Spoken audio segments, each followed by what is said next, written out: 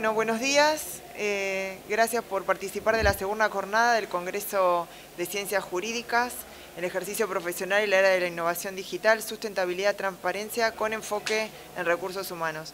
En esta eh, oportunidad vamos a estar eh, gozando de la, de la, exposición de los doctores Carla López Gisberts, Juan, Jorge Juan Blasetti y la doctora Eva Swite.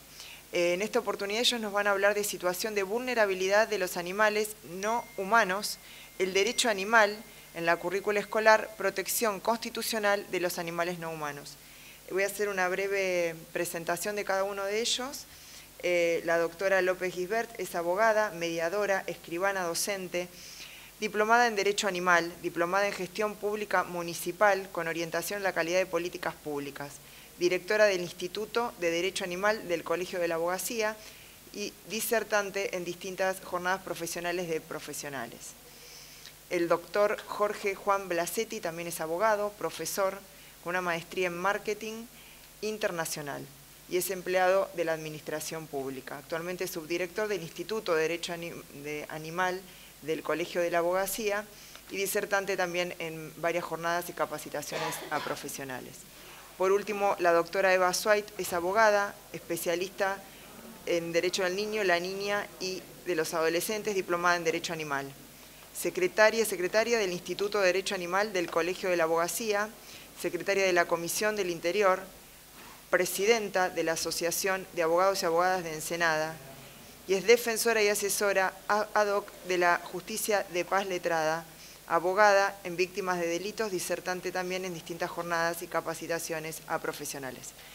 Bueno, a continuación, la doctora, al doctor, el doctor Velacetti que va a comenzar con la exposición. Los vulnerables son aquellos que tienen mayor posibilidad de ser heridos. Bueno, entonces, lo primero a pensar es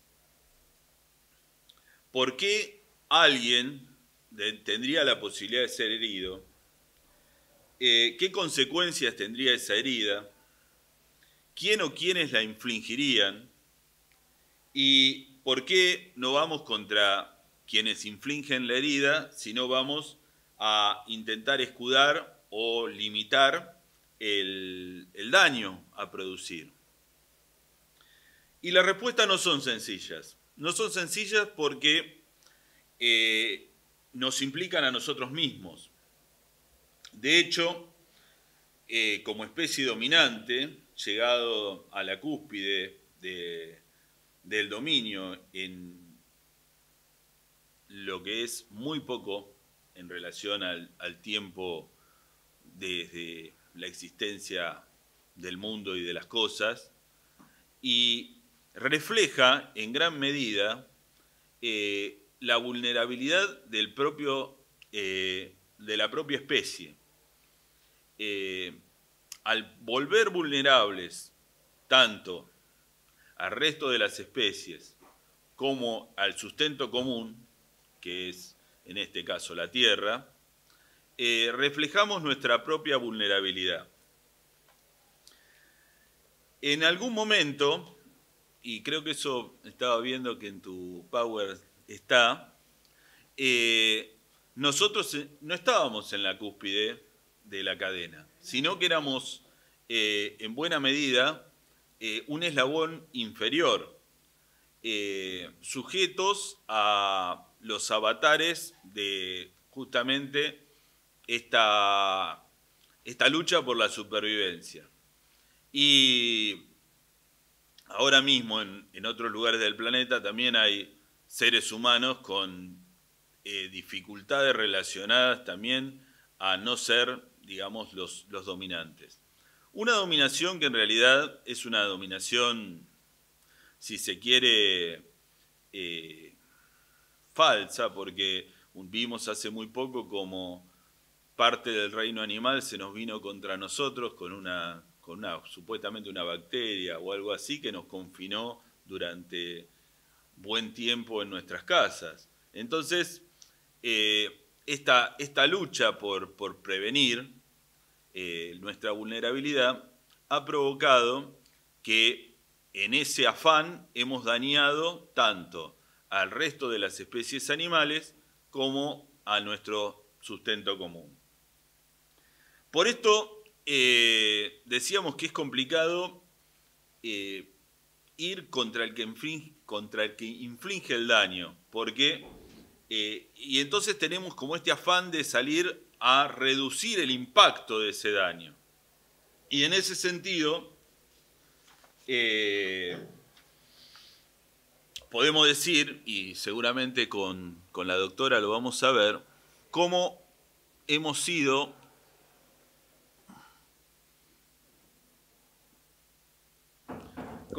cómo, hemos ido llegando a esa cúspide, eh, tejiendo nuestro, nuestro ascenso en sangre y consolidando muros. Esta vez no son los muros de, de, una caverna, sino son los muros construidos por nosotros mismos para construir nuestras modernas cavernas, por decirlo así. Ese miedo ancestral a lo desconocido nos impulsa a conocer primero y a dominar lo conocido después, eh, para, que la, para la posibilidad es justamente que no se vuelva contra nosotros. Eh, por una cuestión circunstancial, mi hija está pasando de quinto a sexto año, una de mis hijas, eh, tengo siete hijos, pero la anteúltima está pasando de, quinto a sexto y no es que pasa eh, no es que pasa mi hija, creo que pasamos todos. Los que son mamás y papás sabrán que, vamos aprobando y repitiendo reiteradamente nuestras... Claro, pasamos por la secundaria varias veces, rendimos exámenes, eh, leemos, leemos textos. Bueno, la cuestión es que eso me llevó a una nueva o una relectura del matadero. Eh, este cuento de Esteban Echeverría, en donde aparece un toro en el matadero, un animal que no debía estar ahí, dentro de una tropilla de novillos, y que es llevado a paliar el hambre. También otra circunstancia particular se da en que es el mismo tiempo que, dice la obra, el tiempo que estamos transcurriendo, el tiempo de la cuaresma. Eh, y en esa circunstancia de paliar el hambre, eh, estos animales estaban destinados a satisfacer las necesidades de niños y ancianos y vulnerables también, pero eran apetecidos por todos. Y ante la inminencia del sacrificio, el toro se logra zafar y con, una, con la cuerda que estaba atado, eh, decapita a un niño. Y este animal en el cuento representa lo salvaje. Obviamente el cuento tiene una, una raíz política, eh, pero al margen de eso representa lo salvaje, lo indómito, eh, un animal peligroso que es llevado a un lugar donde no se, lo, no se lo podía controlar y esa falta de control hizo o provocó esta, esta situación de la muerte del niño. Eh, pero luego la especie, por un trabajo colectivo, logró dominar a ese animal y concluyó la faena en forma muy sangrienta y bueno, y demás. Como le decía, está vinculado al tema de unitarios y federales, pero bueno, eso es otra historia, eh, en la cual también esta especie nuestra intenta prevalecer ante su misma especie. Así que cuando hablamos de vulnerables vamos a encontrar esa vulnerabilidad eh, que provocamos en el entorno, que provocamos en el resto de los animales y que provocamos dentro de nuestra propia especie. Ayer en el inicio de las sesiones, eh, nuestra, la presidenta del Colegio de la Abogacía hablaba sobre el tema del cambio climático, y, también hemos tenido eh, bastantes presentaciones sobre cambios vinculados a, la inteligencia artificial y demás cuestiones que, que nos impactan. Que nos impactan y que también de alguna manera nos vuelven a poner en esta situación de vulnerabilidad. Eh, este, esta especie nuestra tiene la, gran capacidad de transformar el, entorno y lo modifica y avanza justamente eh, en esta situación que, manifestábamos hace un ratito, vinculada con su propio miedo. Eh, así que también eh, genera miedo, y nos está generando miedo, nuestra propia proyección hacia, hacia el adelante. Esta, esta lanza del tiempo hacia adelante también nos, genera, nos genera miedo y empezamos a ver cuáles son las consecuencias de la misma y qué, y qué situación afecta a, un entorno que, nos es necesario para la subsistencia de la especie. En ese sentido, eh, podemos decir que por, no voy a citar la fuente, pero más o menos 70.000 especies de animales, sin contar vegetales, y desequilibrios ambientales se extinguen anualmente. Eh, así como, como vemos eh, que cada vez que se investiga aparecen nuevas especies de animales, también de vegetales, eh, la escala de la, de la, digamos, del aniquilamiento de especies es mayúscula.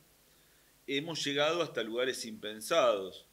Eh, cada vez que vamos avanzando en la investigación podemos encontrar que el, efecto del hombre ya está en las fosas basales de, los océanos, donde buscando o esperando encontrar nuevas vidas, encontramos basura. Basura que nosotros estamos eh, enviando a los océanos. O sea que encontramos nuestra, nuestra propia, nuestra, o sea, buscando nuevos elementos para lograr eh, satisfacer o, resolver estos miedos a la continuidad de la especie, encontramos nuestra propia obra destructiva en esa, en esa búsqueda. Eh, fíjense ustedes que una de las grandes batallas del futuro es la, guerra por el agua. Eh, pueblos como la India y Pakistán están prácticamente en, guerra por eh, la afluencia de agua que les limítrofe.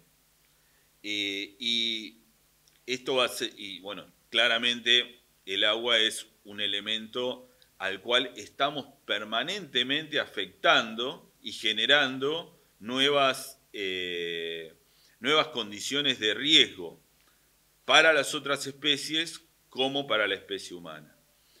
Eh, en cuanto a estas 70.000 especies, fácilmente una, una minera a cielo abierto o una minera... Antes tirábamos los desechos, ya que hablábamos del matadero, de las curtiembres en el riachuelo. O sea que, nosotros tenemos acá muy cerca, no tenemos que ir ni a la India ni a Pakistán para esta cuestión, ni, tenemos que ir a, los pueblos donde, digamos, se está buscando cobalto para reemplazar la energía eh, fósil por energía sustentable, pero en, se necesita efectivamente el agua para, para el cobalto eh, y, terminamos, terminamos lanzando desechos y matando literalmente los, los, lagos y la pesca y los recursos de otros seres humanos también vulnerables. En pos, como digo, en pos de a veces una, una mejor eh, calidad de aire y demás, terminamos provocando otro daño. Esta, esta búsqueda justamente de soluciones necesita un análisis permanente de cuáles son las consecuencias de nuestras acciones. Eh, y es y es por eso que si bien hasta ahora no, no hemos hablado al parecer de animales, sí lo estamos haciendo porque estamos hablando de cuáles son las causas que generan este estado de vulneración. Inicialmente, por ejemplo, podemos hablar de que el mamut peludo se extinguió por la caza. La caza se sustituyó por la domesticación de los animales. Hoy no es la caza la mayor eh, causa de extinción de estas especies, sino otras acciones que tienen a, estas especies como, eh, como, digamos, como víctimas secundarias. Ni siquiera tenemos una intención de matar o de nutrirnos o de utilizar eso que, se extingue. Simplemente lo extinguimos producto de, esta, de, esta, de este descuido. Eh, por eso es tan importante poder plantearnos en este momento eh, este tipo de cuestiones. Eh, nosotros no tenemos muy, o sea, no nos, ahora hace, hace par de días fuimos afectados por un fenómeno climático, pero realmente son fenómenos climáticos. O sea, hay varias cuestiones. Hemos avanzado sobre los humedales. Evitamos, eh, digamos, que el agua cumpla su ciclo. En la ciudad, eh, el agua, bueno, cuando cayó toda el agua junta provocó mucho daño. Rápidamente, producto de, del 2 de abril de hace ya unos cuantos años, se mejoró y rápidamente esa agua escurrió. Pero en el casco urbano. Pero el daño que generó en, en otras zonas es importante. Y no solamente generó daños sobre las personas que tenemos, eh, que tenemos alguna, algún registro, sino que también generó daños sobre animales. Muchos de esos animales eh, que están bajo la responsabilidad del animal humano fallecieron también, y de eso no, no hay cuenta. No, hay, no hubo cuenta en abril, el 2 de abril, no hubo cuenta ahora, no hay cuenta de alguna forma es porque no nos cuentan. O sea, de alguna forma es porque no, no los visibilizamos. Y lo importante es un poco llegar a esa visibilización. Eh, normalmente cuando hablamos de animales, nosotros hablamos de, pareciera que, que reducimos la cuestión al reino animal, reino vegetal, pero sin embargo, eh, el reino fungi, el protocista y las bacterias, el reino monera, eh, nos ponen en jaque, justamente eso que hablábamos antes. Hemos, hemos generado una sensación de, de seguridad, sin embargo, la, estamos provocando en este momento, con el derretimiento de los hielos, la liberación de bacterias ancestrales, a las cuales no estamos preparados para enfrentar como especie. Ni nosotros, ni el resto de las especies. Entonces, eh, para lograr, yo no sé, esto lo puse un poco para, para, para algo, pero no, no, sé si ayuda mucho. Ahí vamos después ahí. Para lograr eh, empezar a tomar conciencia, tenemos que empezar a ver, abrir los ojos ante una realidad que, nos es inquietante. De hecho, hoy por hoy, si nosotros confrontáramos a algún niño eh, en relación al pollito y la nugget, prácticamente no le encontraría vinculación, porque hemos perdido esto que nuestros abuelos o bisabuelos eh, desarrollaban, que era la, crianza de animales y su facturación. Al separar la crianza de la facturación, hemos perdido la conciencia de la existencia de ese otro. Eh, y podemos decir que, bueno, al final los dos terminaron en la olla, pero no es lo mismo. Eh, la relación del hombre con los animales, eh, voy a, te leí que era una relación de poder. Y como te leí que era una relación de poder también... Claro, sí, spoileamos. Pero bueno, realmente es una relación de poder. Eh, a punto que inicialmente, como decíamos, no éramos los poderosos. Pero ahora creemos ser los poderosos, por lo menos ante toda una serie de, resto de los animales eh, y de la misma, del mismo ambiente. El ambiente y, y otros reinos, como el Monera, se encargan de decirnos realmente cuál es nuestro lugar. Eh, así que bueno, ¿qué podemos hacer ante esta cuestión? ¿Cómo podemos reaccionar ante esta crisis que hemos generado eh, en cuanto a la extinción de, de animales, en cuanto a la afectación del ambiente y en cuanto a, nuestra, a crear nuestra propia vulneración.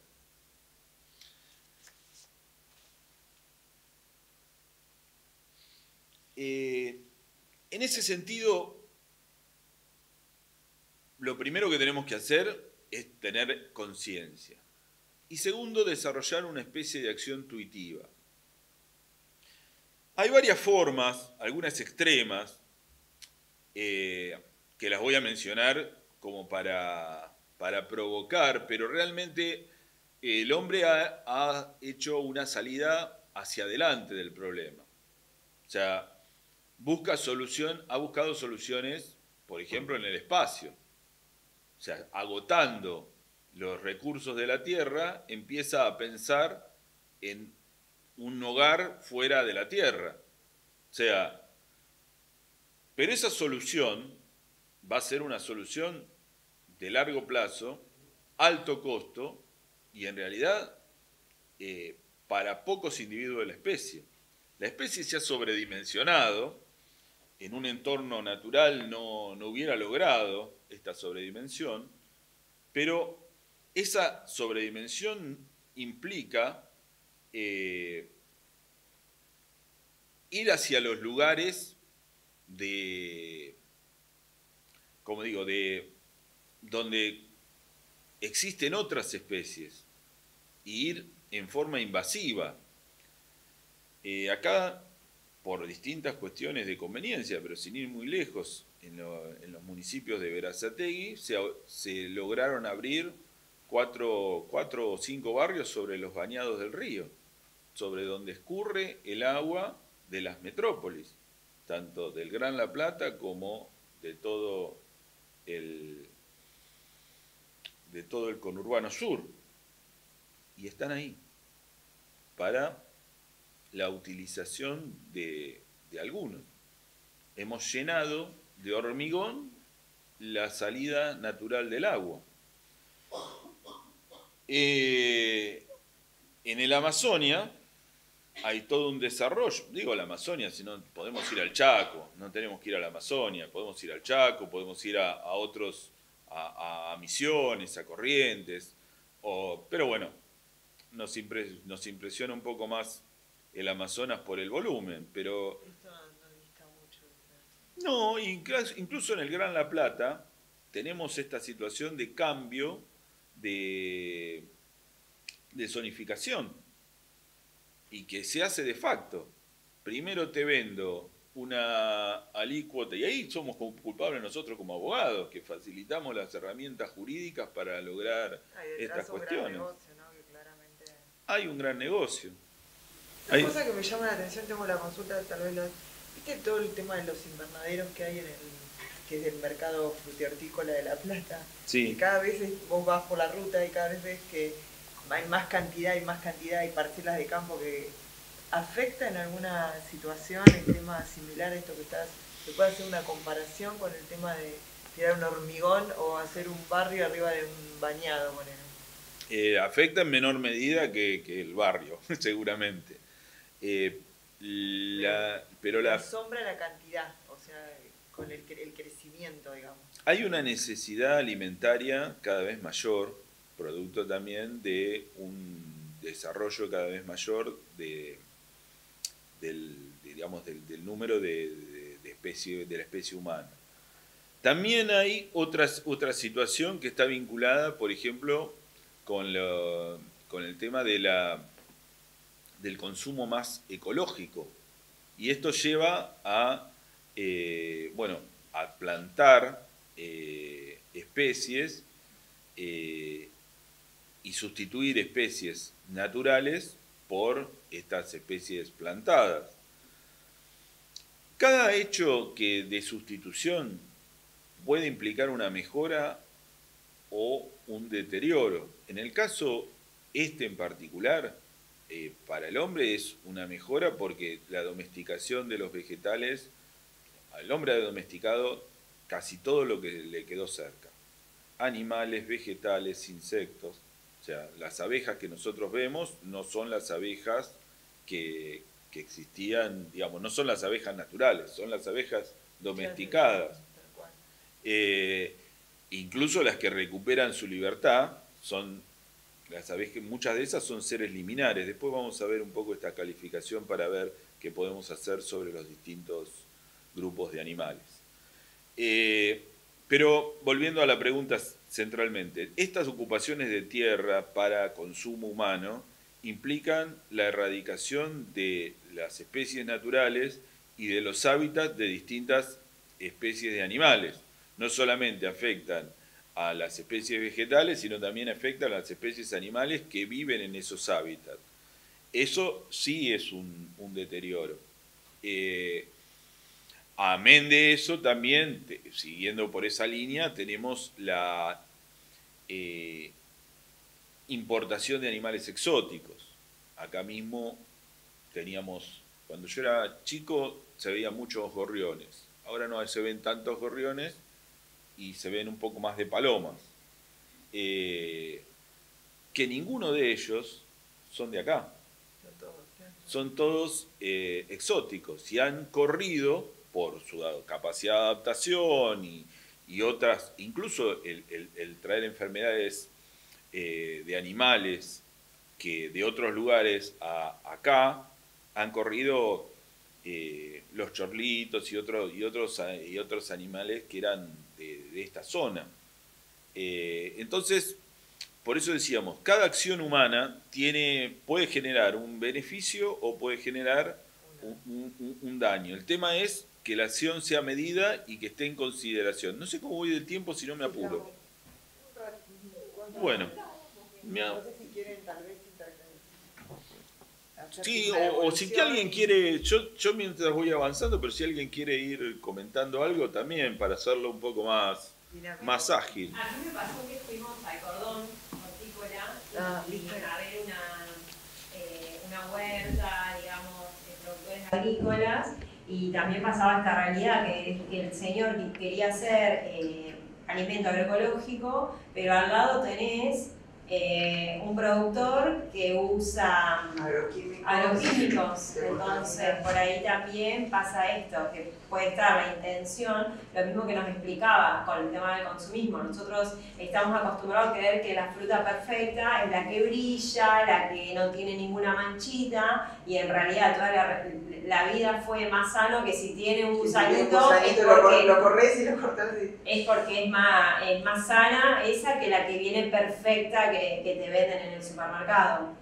Es, ese, es, ese es otro tema. Hemos, hemos perdido la capacidad de ver la realidad. Lo natural, eh, eh, eso, claro. Eh, y, esa, esa pérdida, por eso decía, no es tan lejana en el tiempo.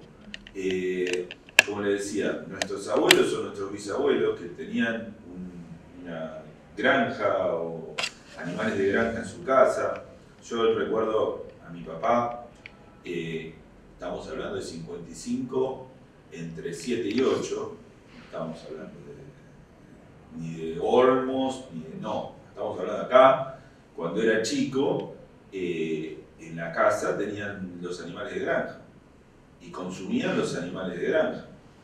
Obviamente ya en, en esa época se daba una sustitución, pero todavía se consumían los animales de granja en la ciudad y estamos hablando de hace 80 años, no estamos hablando de mucho más tiempo.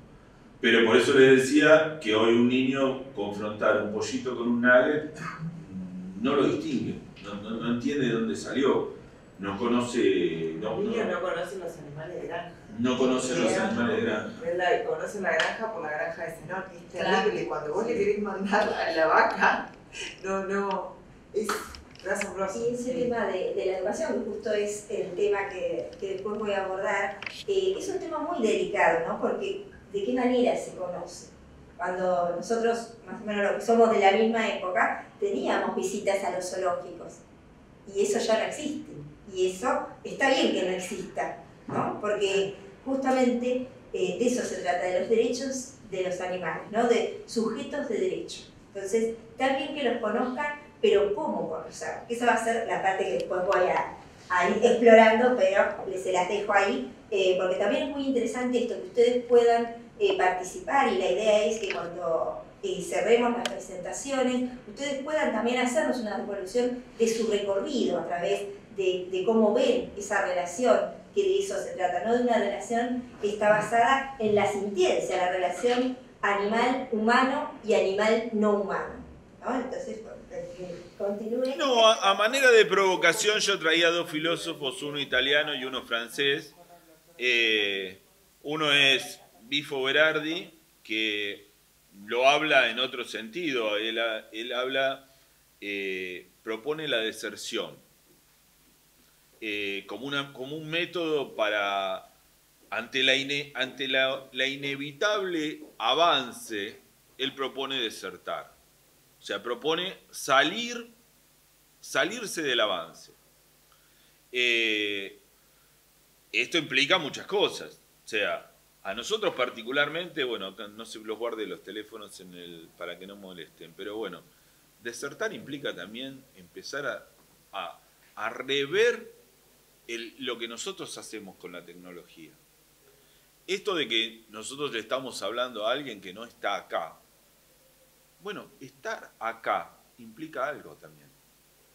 Eh, Sadin, el segundo de los de los pensadores que les traía. No es que piense necesariamente como ellos, ni mucho menos, pero es interesante las ideas disruptivas. Esto de desertar en el sentido de quebrar y retirarse. No solamente, ni siquiera pelear adentro de esta lucha que siempre encuentra una nueva excusa para seguir avanzando. Salir. Eh, habla en realidad de desaprobar el modelo y asumir la responsabilidad política como una, una forma, pero eh, ambas dos situaciones implican la, la comunidad humana. Y creo que en parte, y esto ustedes, no, mentira, pero en parte eh, la comunidad humana se, se da en, en, digamos, en el fogón ancestral.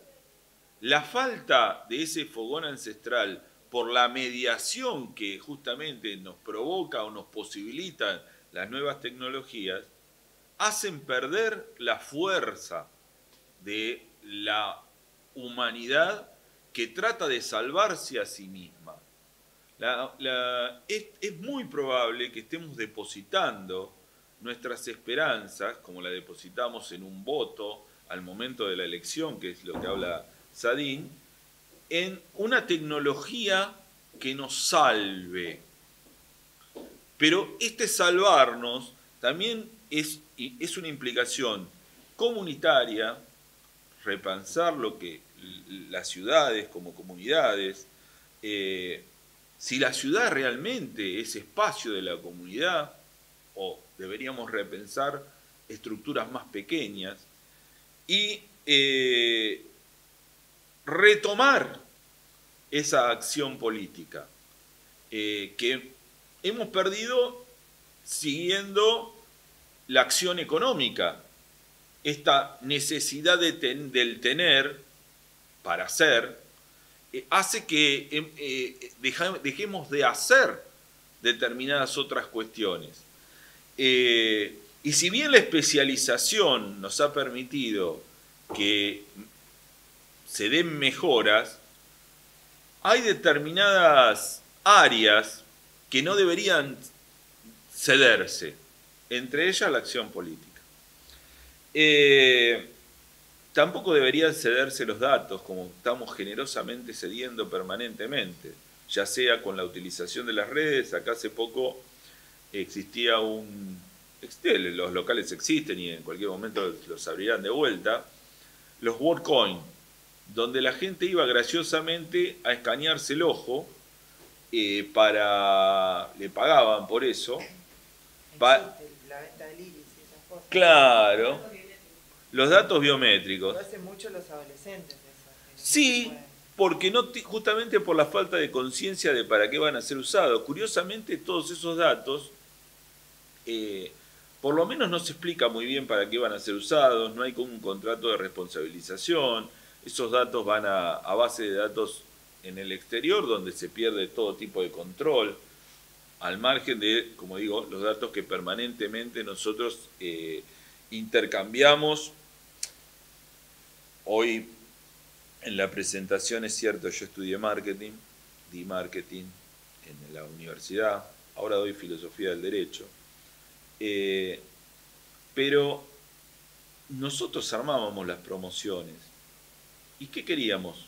Armar base de datos. Yo te regalaba eh, un espejito de color y vos me dabas un dato que me permitía segmentarte, que me permitía conocerte, que me permitía manipularte para que vos compres mis productos. O sea, vos fijate que el tema de los espejitos de colores... las encuestas que vienen detrás de cualquier compra y uno las... Uno las hace eh, hoy por hoy... Lo que pasa es que lo de los datos biométricos es algo delicado porque es único. Entonces, eh, yo el otro día vi un informe de la Unión Europea que ellos, bueno, en realidad de España, que ellos eh, pusieron sanciones ahora muy graves a esta empresa porque los chicos no entienden lo que hacen y por 80 euros van y, se sacan la, el escaneo para, para que se tomen esos datos. Y explicaba un especialista en el tema que decía que sí, y en, y en dos semanas te hacen una persona con IA, con todos los datos biométricos tuyos y aparece sacándote información, datos vos mismo eh, con ese perfil. Estás creando la nueva especie humana. Estamos creando la nueva especie humana. Ese es otro, eso es otro. No, bueno, por eso, por eso justamente es necesario. Sería más fácil hablar, eh, tal vez cuando hablamos de vulnerables, y volviendo a los animales, decir que, los, que el, digamos, el deshielo de los polos está provocando la pérdida de los osos polares y demás. Sí, ahora, eh, ¿vamos a poder congelar el polo? No, pero sí podemos tener otras microacciones que nos ayuden a evitar esas cuestiones o otras en el futuro. Tal vez no podamos salvar a los osos polares o lo podamos salvar en alguna medida por la tecnología, por la reserva de ADN y la recreación, pero al margen, al margen de esa cuestión, eh, es necesario entender la gravedad de la, de, la, de la acción y la microacción y de la abstención de la acción. Sí, de la responsabilidad de los actos y de Jorge, tendríamos que ir bueno. un poco como para que nos quede tiempo y nos presta un eh, Listo, o sea... y cuesta cortar. Nos prendemos todos, pero bueno.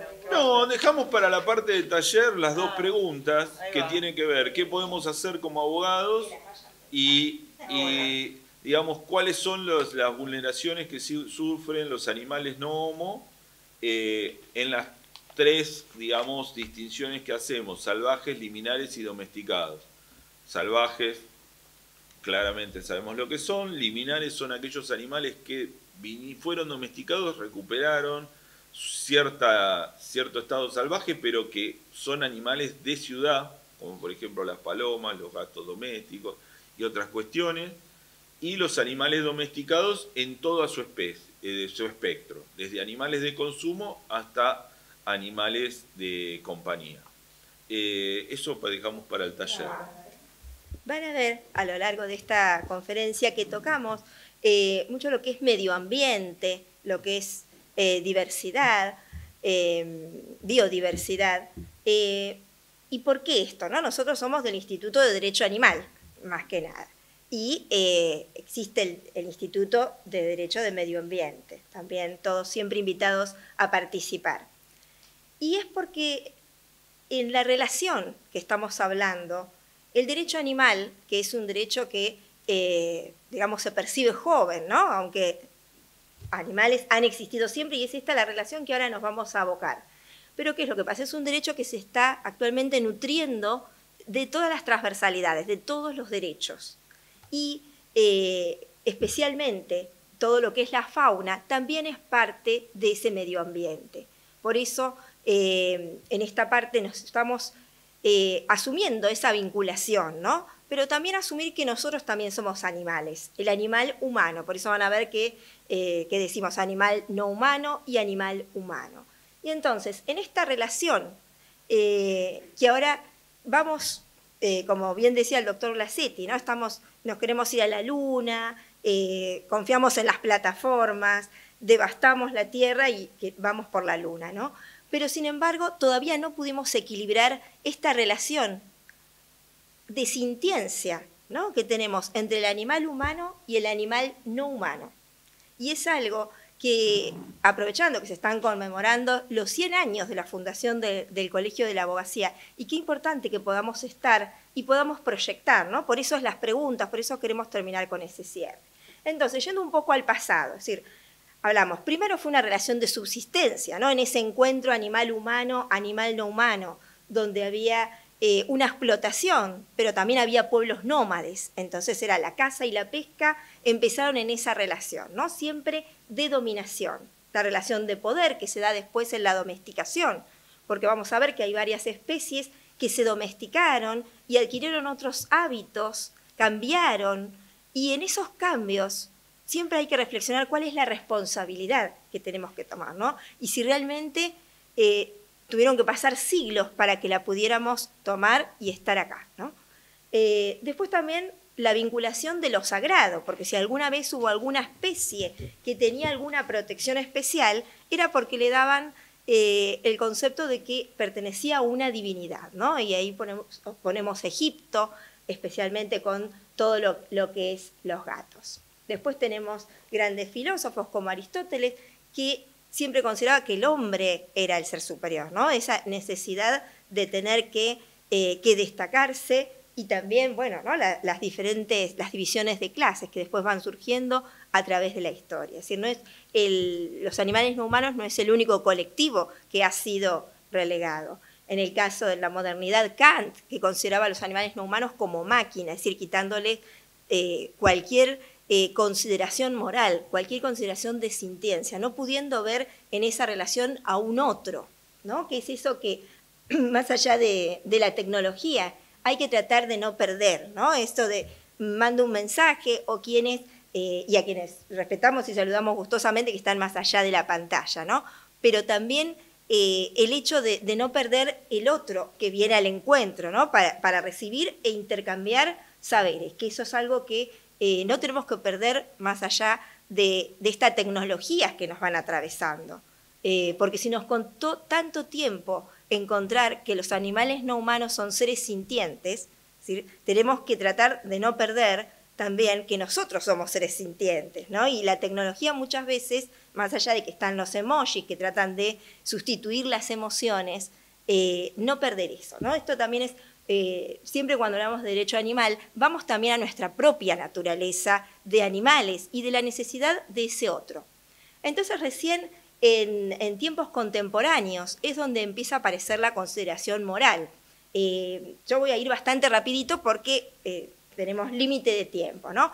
Pero sí me interesa mencionar a Jeremy Bentham con el utilitarismo, que él va a señalar los intereses en base a la máxima felicidad ¿no? de los animales, les va a dar una consideración moral. Pero eh, lo que no va a aclarar y no va a ir avanzando es en esta relación. ¿Qué pasa cuando eh, los animales humanos tenemos nuestra mayor felicidad en el aplastamiento de los intereses de ese otro? ¿no? Eh, el derecho animal siempre van a ver que siempre va a haber una crítica al actuar, y que es una crítica que es necesaria, porque bien sabemos, eh, lo que vivió la ciudad de La Plata es justamente porque no estamos creando un ciudadano, formando un ciudadano que tenga una conciencia crítica de cómo me estoy desenvolviendo con el otro, con la conexión con ese medio ambiente. ¿no? Después eh, Peter Singer también con su libro La liberación animal eh, va a, poner la pauta de un concepto que es la sintiencia, que es el que me están escuchando que, que lo estoy mencionando. ¿no?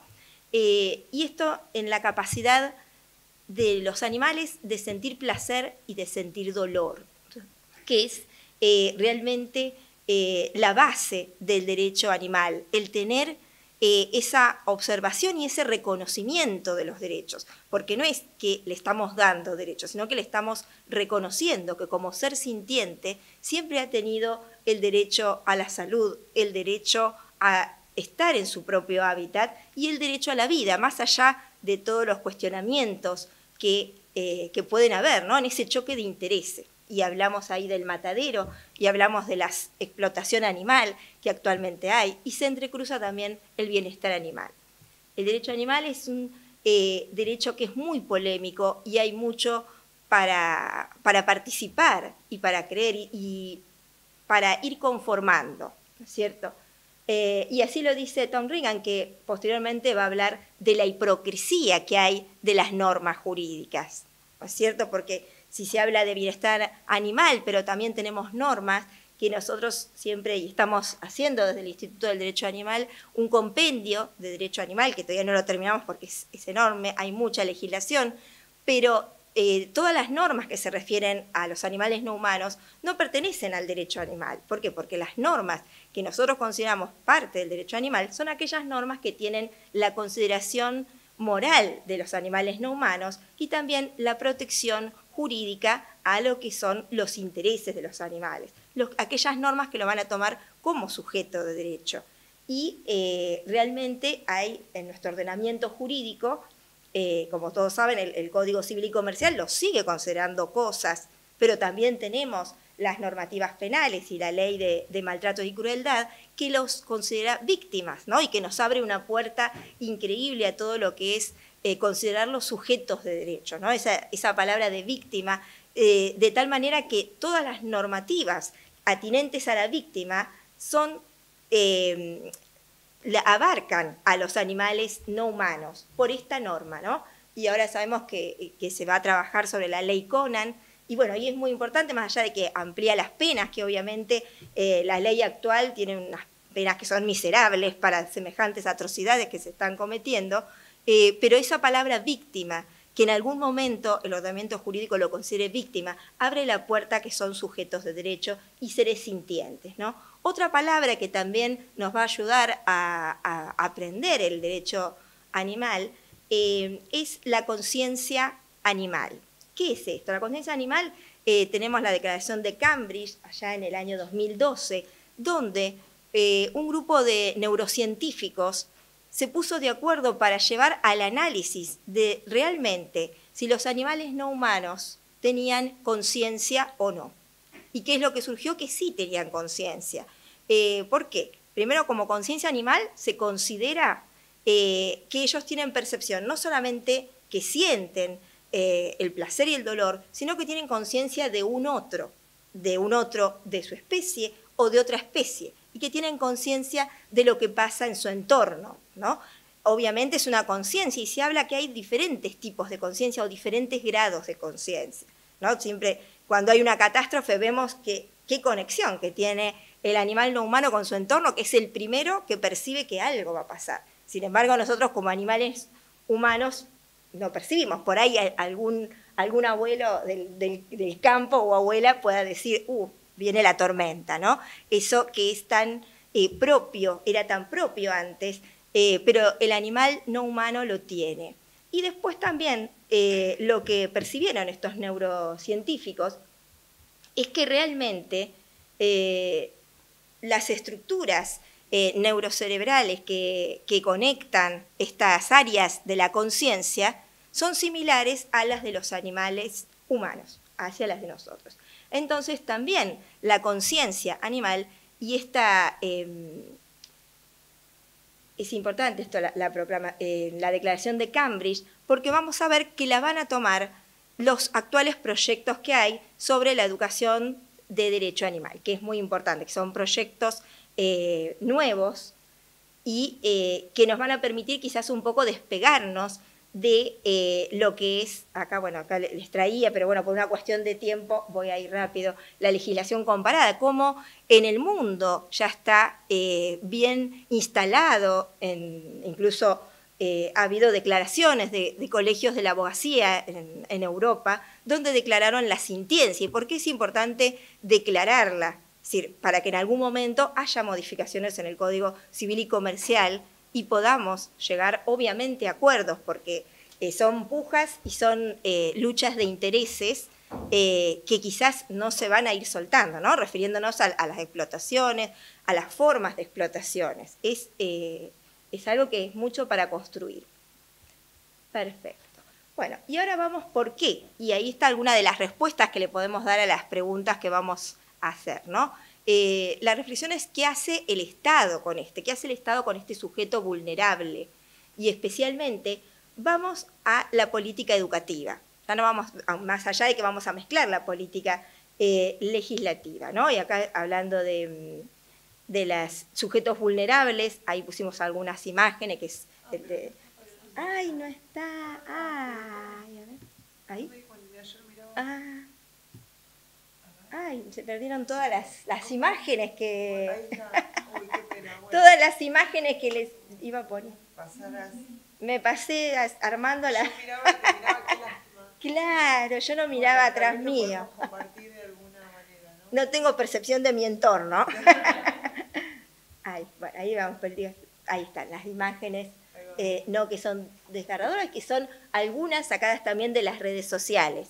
Eh, ¿Por qué? Porque también si vamos a hablar de lo que es la sociedad y, esta crítica que hacemos a las políticas educativas, también tenemos que ver que en realidad eh, tenemos una sociedad que está ávida de que el derecho animal aparezca y que dé soluciones a estos actos de crueldades ¿no? o, de, o de tráfico incluso tradiciones, como es la del toro que contábamos, las corridas de toro, eh, y esto que, se hace en, España, obviamente, a Dios acá no, aunque tenemos la doma, que no, no por no prender fuego al animal no es menos agresiva, ¿no? Entonces es esa reflexión eh, de qué estamos haciendo, ¿no?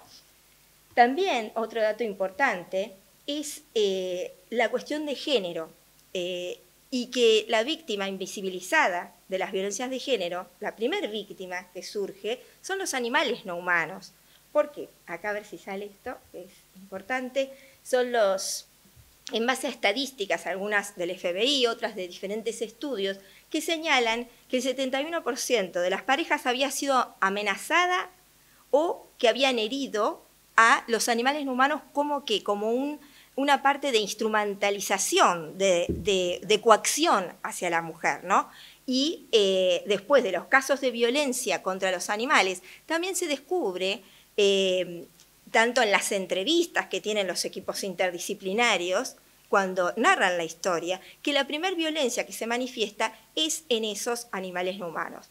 Eh, e incluso en las víctimas de mujeres de, de, violencia hay programas, como en España, que ahí les puse el programa BioPET, que trata también de incluir a los animales no humanos en esos rescates que se hacen, porque hay mujeres y diversidades también que no abandonan sus hogares eh, pese a cualquier eh, atravesamiento de violencia que tengan, por la cuestión de no abandonar a eh, su animal no humano, ¿no? que nosotros siempre tratamos de, de cuando dicen perrijo, gatijo, ¿no? que es muy, muy normal en las redes sociales, a nosotros no nos gusta tampoco que, eh, que lo humanicen al animal no humano, porque ahí otra vez estamos perdiendo el eje, ¿no?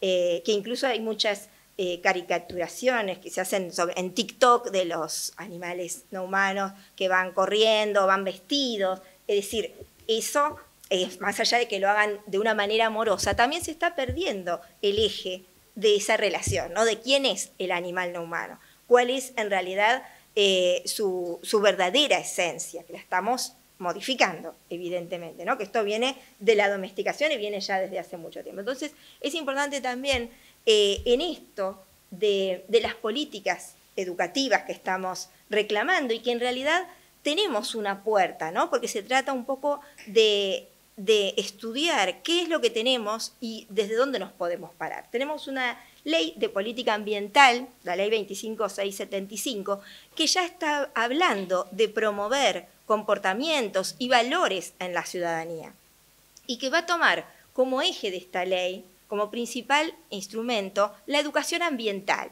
¿no? Eh, considerado la educación ambiental donde van a participar toda vida, desde el, animal humano en su influencia con, con, ese medio ambiente, desde el animal no humano, ¿no? Eh, más allá de que la ley no lo dice, si nosotros vemos qué es el medio ambiente, es la relación de toda la naturaleza. Y la naturaleza es también la fauna. Entonces, tenemos una ley que nos está hablando de esa educación ambiental, ¿no? que está en el artículo 14 y 15. Voy a ir rapidito porque no quiero, estamos muy al límite. ¿no? Incluso ahí está la coordinación entre los consejos federal de medio ambiente y el de mm, educación y cultura, que justamente es el que tiene que hacer los diseños de estos programas y planes que atraviesan todos los niveles. Esta ley es del año 2002. Y después tenemos recién en el año 2021 está la ley para la implementación de la educación ambiental e integral. Que ahí es una ley que es muy interesante. Le voy a, contar algunas eh, de las partecitas más importantes, eh, que habla de esa interdependencia de la naturaleza, de respetar esa, esas comunidades de biodiversidad, eh, aprenderlas, respetarlas, aprender a relacionarse. Incluso habla del ecofeminismo, que también, ¿por qué? Porque así como hablamos de, colectivos segregados, ¿no? del el racismo, eh, el feminismo también, y bueno, también está eh, están los animales no humanos que fueron segregados. Entonces es muy importante ese reconocimiento al ecofeminismo. Eh, y también otro dato importante que tiene la ley, que si bien se demoró mucho a hacerse la ley, tenemos el reconocimiento de los pueblos originarios, ¿no? Porque también lo que esta ley nos está indicando es estudiar sobre esa relación que hay entre los pueblos originarios con la naturaleza, que también habla un poco de esto de conservar y de no eh, destruir a través de todas las explotaciones, ¿no? como hablábamos, eh, quizás de los invernaderos, eh, ver qué, invasión hay, pero también qué hacían nuestros ancestros de los pueblos originarios y quienes aún existen y, perduran, y ojalá por mucho tiempo los pueblos originarios, ¿no? que, que eh, valga decirlo, también tenemos que, cuidarlos. Y en lo que es provincia de Buenos Aires, bueno, tenemos la educación provincial, la 13688, que en su artículo 45 nos va a traer, y fíjense que esta es del año 2007, habla también de la educación ambiental como un eje transversal, es decir, que de todas las materias se podría eh, abordar lo que es la educación ambiental. Y a esto refiero porque con todo lo que está pasando, con toda la, degradación del medio ambiente, la afectación, la desaparición de las especies, realmente son leyes que las tenemos, pero ¿cuál es la política educativa? Eh, en provincia los docentes recibimos eh, cursos a través de plataformas también de ABC y hay plataformas, eh, hay cursos sobre medio ambiente, pero en sí no abarcan lo que es los derechos de los animales y tampoco la sintiencia y tampoco la conciencia animal, cuando eh, son eh, factores que ya es a nivel mundial ese reconocimiento.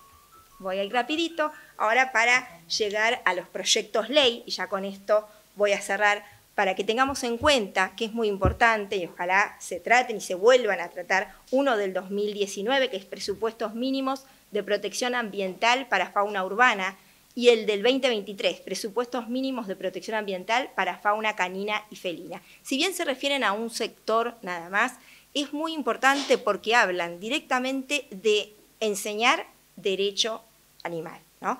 Y con ello hablan de la sintiencia, hablan eh, de, dar eh, acogida a través incluso de hogares de tránsito a aquellos animales humanos que estén en situación de calle. Es una ley que está muy, un proyecto de ley que va muy dirigida a todo lo que es eh, la sintiencia y principalmente la educación y la formación del ciudadano en lo que debe ser su relación con ese ser sintiente.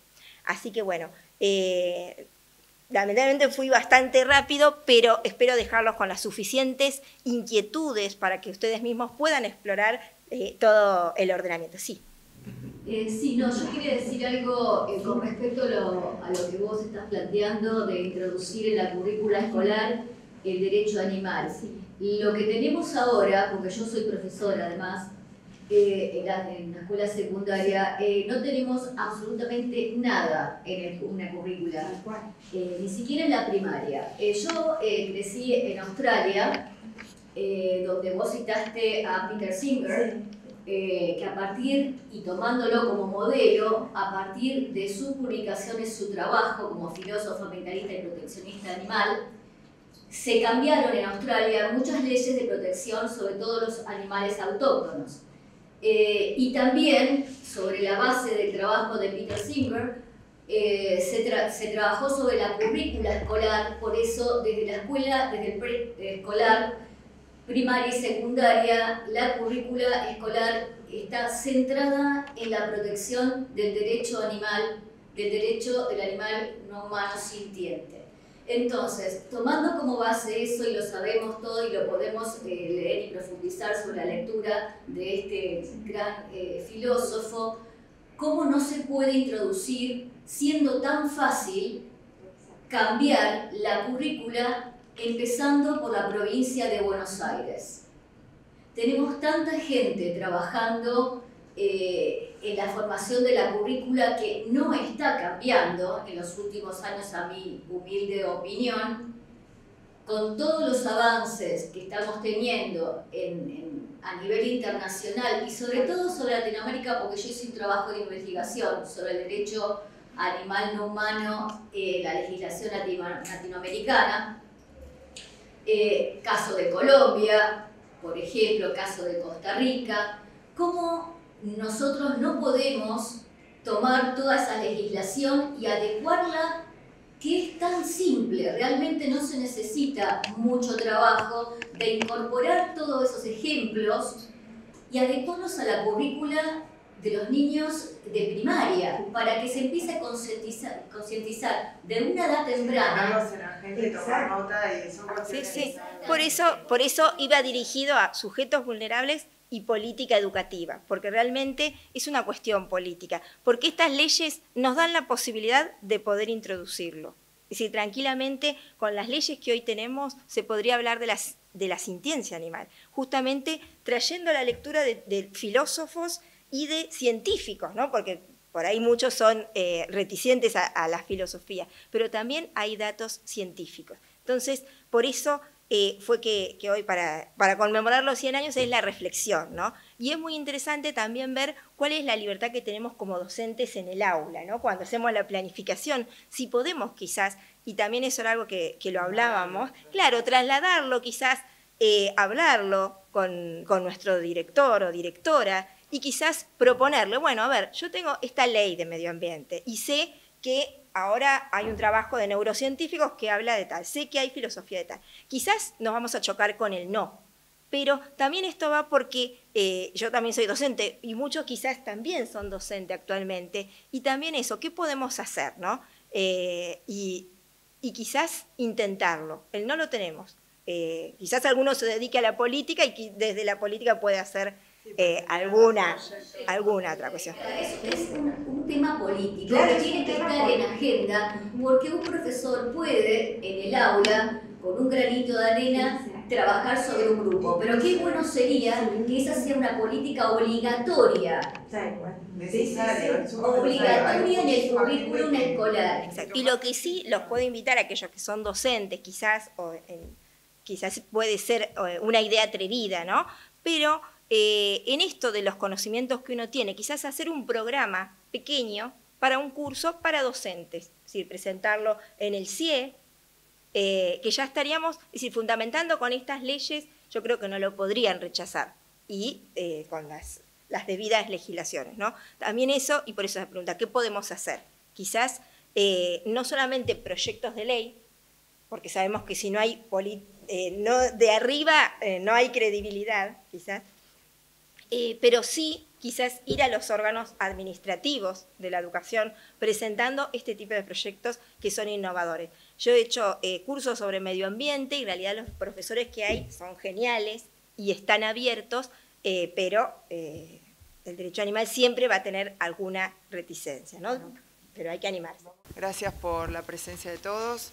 Le agradecemos al doctor eh, Juan Orsini eh, por, su exposición el día de la fecha. Nos va a hablar de los sujetos vulnerables en tiempos digitales, trabajadores de plataformas. El doctor Juan Orsini juez del Tribunal de Trabajo número 2 de La Plata, titular de Derecho Laboral de la Universidad Nacional de La Plata, director del Instituto de Derecho Social de la Universidad Nacional de La Plata y también de la carrera de especialización en Derecho Social. Además de bueno, ser conferencista y publicar cantidad de trabajos relacionados con la temática. Bueno, es un resumen de su currículum. Eh, así que bueno, le damos la palabra al doctor eh, que nos va a exponer respecto del tema que ya comentamos.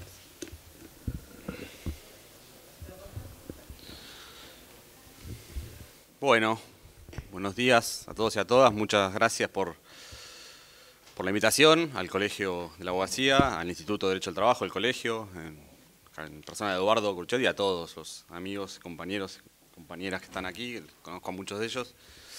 Eh, la verdad es un tema bastante candente, aunque todavía no, no ha habido en la, Argentina, como ustedes saben, intentos avanzados de, regulación normativa, que es un poco el tema que vamos a tratar de conversar, ¿no? si es necesaria una, regulación específica en materia laboral de los trabajadores y trabajadoras de plataformas, pero es un tema que alguna, algunos avances hubo, sobre todo en materia jurisprudencial, tanto a nivel nacional como internacional, e incluso se está discutiendo a nivel de organizaciones supranacionales como la OIT o la, Unión Europea la, la, posibilidad y la necesidad, en todo caso, de establecer una regulación laboral específica para los trabajadores y trabajadoras de plataformas. ¿no? doy por sentado que, aunque vamos a charlar un poco de eso también, de que, y adelanto mi opinión, en mi opinión claramente existe una relación de carácter laboral en, el ámbito del trabajo de plataformas, pero es algo que, estuvo discutido, no tanto, no tanto en, la, en la jurisprudencia, porque la jurisprudencia es abrumadoramente mayoritaria por la afirmativa, por la positiva de que existen relaciones de trabajo, pero sí, obviamente, y es entendible, las empresas que organizan proceso productivo a través de aplicaciones de plataformas han intentado, eh, diría, dos, dos alternativas, una, una, de máxima y una de mínima. La de máxima es sacar a los trabajadores de plataformas del ámbito de la regulación laboral, del ámbito del derecho del trabajo. La de mínima establecer un régimen intermedio sería entre el derecho del trabajo y el derecho civil y comercial, el derecho privado, o en su defecto, Em, establecer un régimen laboral diferencial del régimen general con niveles de protección menores, en la inteligencia de que hay ciertas particularidades en el trabajo de plataformas de que justifican la exclusión del régimen laboral general. La idea mía, para adelantar mi posición, que de todas maneras creo que, muchos la conocen, es que, es que esa posición es equivocada, es errónea y que en primer lugar, no caben dudas respecto de la laboralidad de este tipo de relaciones y en segundo lugar, que no creo que sea estrictamente necesario, aunque podría hacerse, tampoco hay que oponerse por oponerse, pero una regulación específica en la medida que trataremos de, demostrar que esas notas tipificantes del contrato de trabajo que contiene esta legislación hace mucho tiempo, y lo mismo pasa en la mayoría de las legislaciones laborales del mundo moderno, eh, creo que son suficientes para alcanzar... Eh, con justicia la regulación de esas condiciones de trabajo. Una primera introducción que quiero hacer es situarnos en eh, tratar de describir muy brevemente, antes de su regulación jurídica, qué es el trabajo en plataformas, ¿no? porque hoy en día, a partir de ya hace 10, 15 años, estamos eh, ultra acostumbrados en la vida cotidiana a utilizar distintos tipos de aplicaciones, y ahora esto se ha profundizado mucho con la así llamada inteligencia artificial, que a través de plataformas informáticas, modernas tecnologías de la, información y la comunicación, se pueden hacer un montón de actividades que antes se tenían que efectivamente realizar por otros, por otros mecanismos. La gran duda es si eso, este tipo de, procesos pueden prescindir o no del trabajo de, los hombres y las mujeres como un elemento fundamental para poner en marcha estos procesos productivos y en un segundo lugar si esa actividad humana es una actividad que podemos calificarla como trabajo en los términos del derecho del trabajo convencional o clásico. ¿no? En realidad hay muchas formas de, o, muchos tipos, muchas clases de plataformas, ¿sí? hoy en día incluso en la, manufactura industrial, en, sobre todo en los países más, más desarrollados, en China, en, Europa, en Estados Unidos, está absolutamente manejada por plataformas, incluso en la, industria automotriz. Hay plataformas para ofrecer distintos tipos de servicios, pero en las que nos me interesa detenernos, que es las que, en las que más se, centra la discusión jurídico-laboral, es en las, las, que se llaman plataformas austeras. ¿no? Acá no, no, no ninguna originalidad, sigo a un autor inglés que es Nick Cernicker, eh, hay un libro que recomiendo mucho, lo tengo acá, se llama Capitalismo de Plataformas, que él explica para mí con muchísima claridad esta cuestión. Hay muchos autores importantes en este tema, pero creo para mí es el, más claro.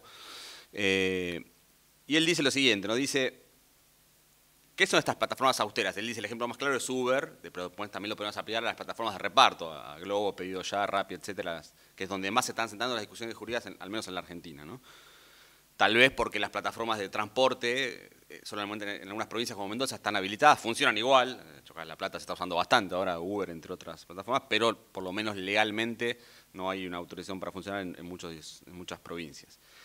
Eh, ¿Por qué la llama este autor plataformas austeras? Porque dice, bueno, son plataformas que al parecer no tienen, no tienen bienes prácticamente. Y esos son los elementos que utilizan para decir, bueno, acá no hay relación de trabajo porque no hay, directamente no hay medios de producción. No hay, no hay, la plataforma es una simple aplicación informática, un algoritmo que establece un contacto entre múltiples sujetos, ¿no? un, cliente, la, la empresa que ofrece el servicio y una persona que puede aparecer como la que facilita el traslado de los productos que ofrece la, plataforma. Por ejemplo, los repartidores o los conductores de, Uber u otras aplicaciones de transporte. Eh, y este autor, Cernicek, dice, pongamos este ejemplo, Uber, que es la empresa de, vehículos de transporte urbano más grande del mundo, más que cualquier empresa de taxis, solamente en Inglaterra, por ejemplo, tiene 30.000 conductores, dice, en Estados Unidos mucho más. Eh, no tiene ningún vehículo propio. Sin embargo, la empresa de transporte de pasajeros más grande del mundo. Y por eso otro ejemplo que pone es Airbnb. Dice, no tiene ningún inmueble propio, sin embargo, es la empresa de alquiler de viviendas temporarias más importante del mundo, con mucha diferencia sobre las restantes. ¿Por qué, pese a esta circunstancia, se plantea este autor, podemos decir que existe ahí una empresa respecto de la cual, en relación a los trabajadores, se puede establecer la conclusión de que hay una relación de trabajo? Bueno, por la sencilla razón de que esos trabajadores sin el acceso a la plataforma no tendrían la posibilidad de ofrecer su fuerza de trabajo en el mercado. Y por lo tanto estas plataformas austeras son una suerte de establecimientos virtuales en el sentido de que se maneja el algoritmo desde una, aplicación informática a partir de un contrato de adhesión que celebran estos, estos trabajadores y trabajadoras y se le imponen una serie de pautas y directivas, más obviamente la apropiación de, de una parte de su trabajo, lo que genera la ganancia empresaria, y no hay, por lo tanto, eh, ninguna posibilidad de negar, dice el autor, que acá exista una relación de trabajo clásica, solo que disfrazada o trasvestida de una moderna interfaz algorítmica que no es muy distinta, y esto lo dicen varios autores, no solo él, no es muy distinta de forma de trabajo de estajo que sin la participación, lógicamente, de aplicaciones informáticas existía en los orígenes del capitalismo, ¿no? como los trabajadores portuarios que iban a pedir trabajo por el día y ganaban un ingreso por día. Bueno, acá los, trabajadores de reparto es lo mismo, nada más que con un medio de producción, en lugar de analógico, digital, muy sofisticado, pero que no, no trastoca, no modifica mucho la estructura clásica de relación de trabajo. Eh, y, dice, ¿por qué entonces se pretende excluir a estos trabajadores de relación de trabajo y plantearlos o hacerlos aparecer como trabajadores independientes? Bueno, la razón es sencilla, es la de siempre. Es una huida del derecho del trabajo para ahorrar costos y optimizar la ganancia. ¿no? Calcula, según estudios que hicieron en Inglaterra, que se permiten eh, ahorrar un 30% de los costos laborales fijos que tendría una relación de trabajo si fuese registrada con los aportes y contribuciones de seguridad social, etcétera, en los términos clásicos. Es otra de las formas clásicas, de, perdón, no clásicas, sino eh, novedosas de flexibilización laboral que ya eh, se establece lo que él llama el capitalismo de plataformas. Él plantea que el, capitalismo de plataformas es una etapa del capitalismo distinta del capitalismo industrial e incluso del capitalismo financiero, que, reemplazó al capitalismo industrial, y que fue pensada por grandes grupos de empresas por dos razones. Una, la crisis de la productividad de la industria manufacturera, que ya no daba tanta ganancia, y segundo, la crisis incluso de, la, del capitalismo financiero, que los países centrales con tasas de interés muy bajas, incluso negativas en algunos países. Por ejemplo, en Alemania ahora la, tasa de interés es negativa, es decir, si vos pones plata en el banco, tenés que pagarle al banco para que tenga tu plata. No, no es lo que está pasando acá, lógicamente, todos lo sabemos, pero eh, el mercado financiero legal, digámoslo así, es un momento muy malo en términos internacionales para, ganar dinero. Entonces, ¿qué hicieron estas empresas? A partir de la crisis del 2008-2009 en Europa y Estados Unidos, decidieron jugar toda una nueva, una forma, nueva forma de organización eh, del capitalismo, que es esta, la creación de plataformas informáticas, en este caso estas plataformas austeras, que les permite una tasa de ganancia superior incluso a los mejores momentos del, capitalismo industrial o del capitalismo financiero. Bueno, esto es fácil de comprobar si uno repara las listas que siempre aparecen de las personas más ricas del mundo, ¿no? ¿Quiénes son? Jeff Bezos, el dueño de Amazon, eh, Elon Musk, el dueño de, Tesla y, bueno, de Twitter y demás. Son todos, eh, Bill Gates, etcétera, son todos, las personas más ricas del mundo son, no, por casualidad, digamos, personas, el dueño de, Facebook o eh, Zuckerberg y demás, que son las, entre las 10 personas ricas del mundo, 4 o 5 lo ocupan los, dueños de estas plataformas. ¿Por qué? ¿Cuál es la, entonces, ¿qué dice este autor? La, materia prima que utilizan son los datos. Los datos es la materia prima, pero no hay ninguna razón que justifique a señalar que se, excluyen las notas típicas de relación de trabajo clásica de los orígenes del capitalismo. Bien, entonces, pasando un poco al ámbito de la relación entre esto y el derecho del trabajo y sobre todo del contrato de trabajo. ¿Cuál es la discusión que se empezó a dar cuando empezaron a funcionar estas plataformas austeras, las de, reparto de productos como Globo, la más, la más conocida, Rappi, Pedido Ya, etcétera, acá en Latinoamérica, o Uber, eh, Cabify y otro tipo de aplicaciones de, transporte? Son los ejemplos más pragmáticos porque son las, más utilizadas por la gente y por lo tanto las que mayores cantidades de mano de obra captan, ¿no? Particularmente en el campo de trabajadores y trabajadoras jóvenes, ¿eh? con a veces con escasa formación o que están haciendo un, trabajo como para, formarse en otra, en otra cosa y que en, etapas de la economía mundial con una tasa de desempleo alta en promedio encuentran en estas actividades una forma de, ocupación que no, que no logran eh, hallar en otro tipo de actividades más clásicas. ¿no? Pero bueno, entonces el, el debate se centra, ya en lo jurídico laboral en el sentido estricto, en definir si acá hay o no hay contrato de trabajo. Ya anticipé mi opinión favorable a que sí, que, es una opinión no soy para nada original, absolutamente mayoritaria, diría casi absoluta eh, en, todo el mundo, en la doctrina del derecho del trabajo, e incluso en organizaciones internacionales, como dije, como la OIT y la Unión Europea. Una, una pequeño asterisco que me olvidé de mencionar. Recién cuando decíamos, bueno, dice dice, bueno, se fue a esta forma de organización del trabajo porque permite ahorrar alrededor del 30% de los costos fijos del trabajo, en comparación con el trabajo clásico, clásico regulado con estabilidad y ciertos derechos. Eh, cuando se publicó el proyecto de una directiva de la Unión Europea para considerar que los trabajadores de plataformas efectivamente eran trabajadores, hay un proyecto del, Parlamento Europeo para, regular en ese sentido, que todavía no, salió, pero entró en, proceso de discusión a finales del año 2021. El mismo día que se publicó la noticia, eh, se calcula que las, plataformas más grandes, Uber, Globo, etcétera, perdieron 9 mil millones de dólares por, la reacción del mercado a esa noticia. 9 mil millones de, euros, perdón, 9 millones de euros perdieron en un día por la sola publicación de la noticia de que la Unión Europea intentaba regular estas relaciones como relaciones de trabajo. Fíjense cómo se, vincula esto con lo que decía este autor respecto, bueno, les permite ahorrar el 30% de costos fijos. Bueno, cuando sale la noticia de que eso puede ser encuadrado a nivel europeo, lo cual abarcaría a los más de 30 países de la Unión Europea, de donde son además las casas matrices de, todas estas, de casi todas estas empresas, eh, perdieron una suma multimillonaria que, incluso no les impidió seguir funcionando, porque el nivel de ganancia que tienen es tan sideral que una cifra que para nosotros no podemos ni imaginarnos lo que significa.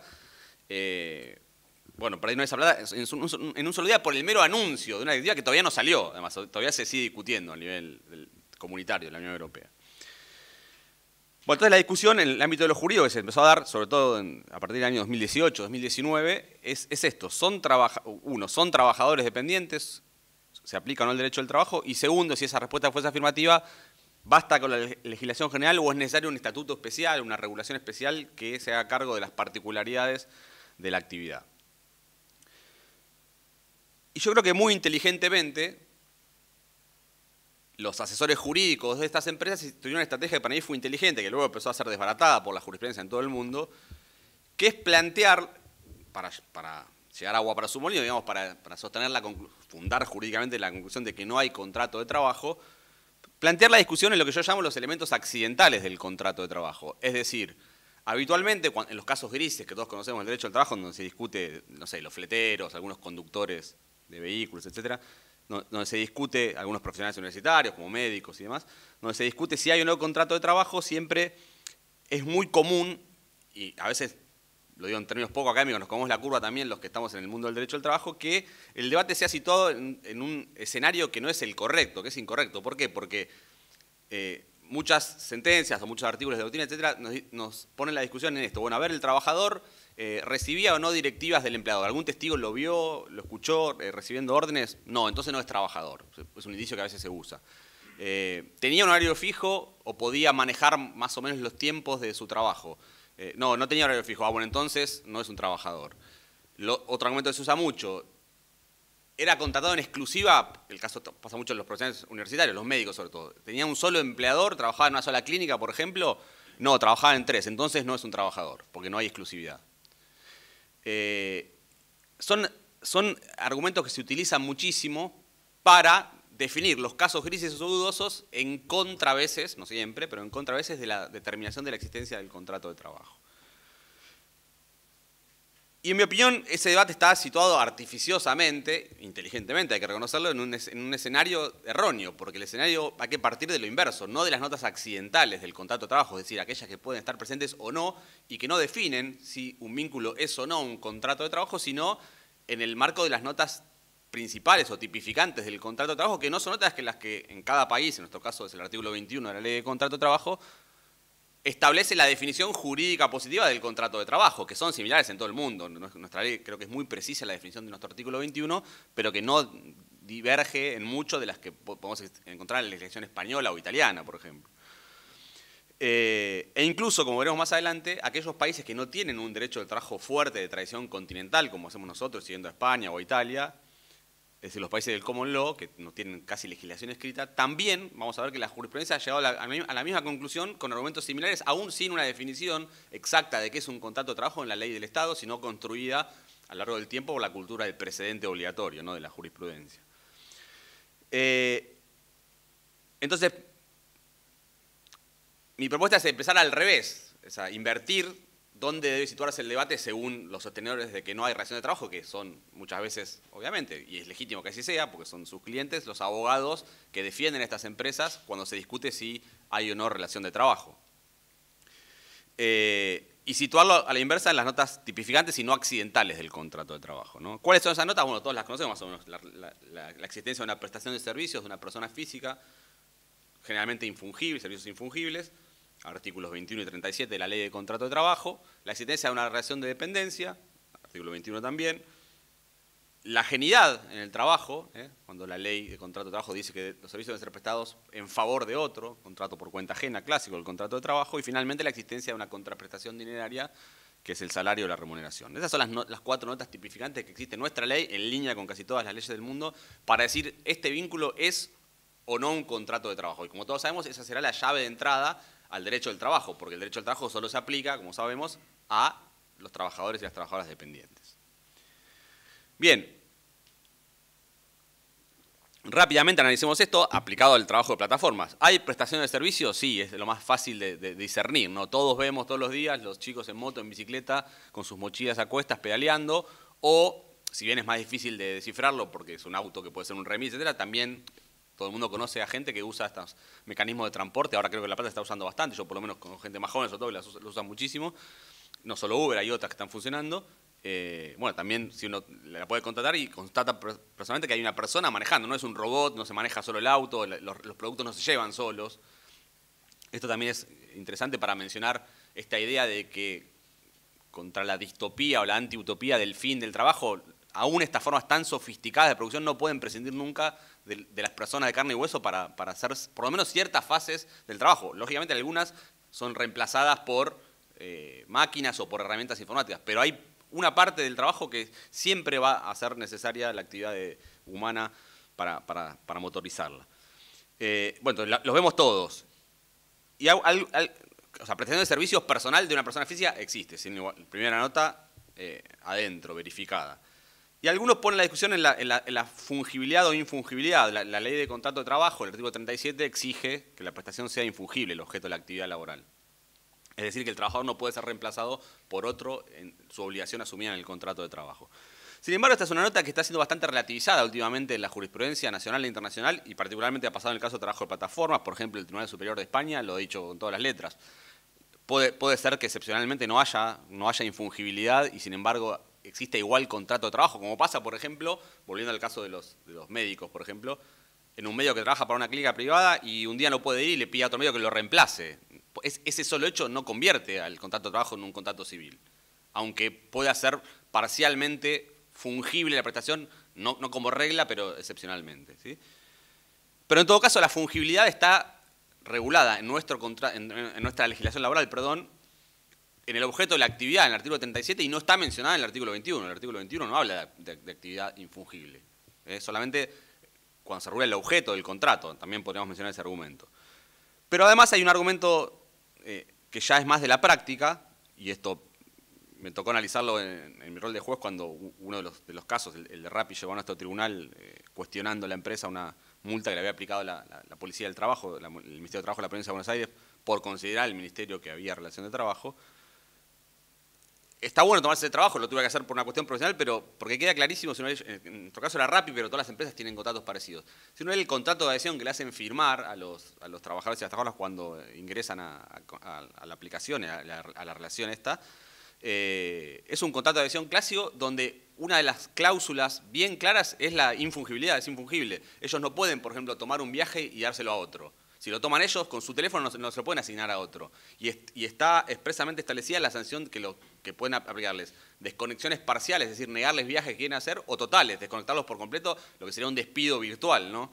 Es decir, eh, son claramente infungibles por contrato, más allá de, lo que la ley establezca. Es decir, tienen sanciones establecidas muy claras, lo cual más adelante nos permitirá determinar también que existe un poder disciplinario, lógicamente, eh, para aquellos que toman un viaje y se lo pasan a otro. Porque ¿qué hacían las, empresas? Y esto en, la causa que nosotros tuvimos que intervenir estaba, incluso acompañan siempre una, foto que es muy clásica, que la encuentran, la googlean, la encuentran en todos lados, que, es, no me acuerdo cuál empresa cuál, pero es que es un trabajador que está vestido con la ropa de Globo y tiene la mochila de Rappi o al revés, no me acuerdo. Entonces, eso lo ponen como ejemplo. Bueno, trabajan para varias empresas, la prestación, eh, no hay exclusividad, la prestación puede ser eh, cambiada de un trabajador a otro, entonces no hay contrato de trabajo. Bueno, esto está relativizado por, los argumentos que recién mencionamos. Entonces, prestación de servicios hay, eh, y aun cuando es discutir el tema de la fungibilidad, en la práctica de los contratos es infungible. Segundo lugar, ajenidad. No hay dudas que hay ajenidad, porque estos trabajadores no trabajan por cuenta propia, trabajan por cuenta de estas plataformas, por cuenta, de estas empresas. Y, la jurisprudencia española estableció una doble distinción que es interesante. Hay ajenidad en la ganancia, porque generalmente las empresas ¿qué hacen? Liquidan los pagos de los viajes, generalmente quincenalmente, algunos lo hacen mensualmente, pero generalmente lo más, lo más común es, quincenalmente. Es decir, quincenalmente liquidan y pagan los viajes hechos en los 15 días previos. La pregunta es, si no hay ajenidad, ¿por qué no cobra directamente el trabajador cada viaje? ¿Por qué no le paga el cliente que encarga el producto? ¿O por qué no le paga el cliente que contrata el, taxi de Uber? vos no le pagás al, que te, al que te transporta, le pagás a Uber. Incluso tenés en la aplicación la posibilidad de poner tarjeta de crédito, etcétera. Eh, a, veces te la descuentan, a veces incluso no en muchos países en Uber no podés eh, pagar en efectivo, ya tenés que poner la tarjeta de crédito y te lo descuentan, aunque vos no quieras, te lo descuentan directamente ahí y eso va a la cuenta de Uber, no va a la cuenta del chofer. ¿Por qué existe eso? Cuentamente porque hay genial la ganancia.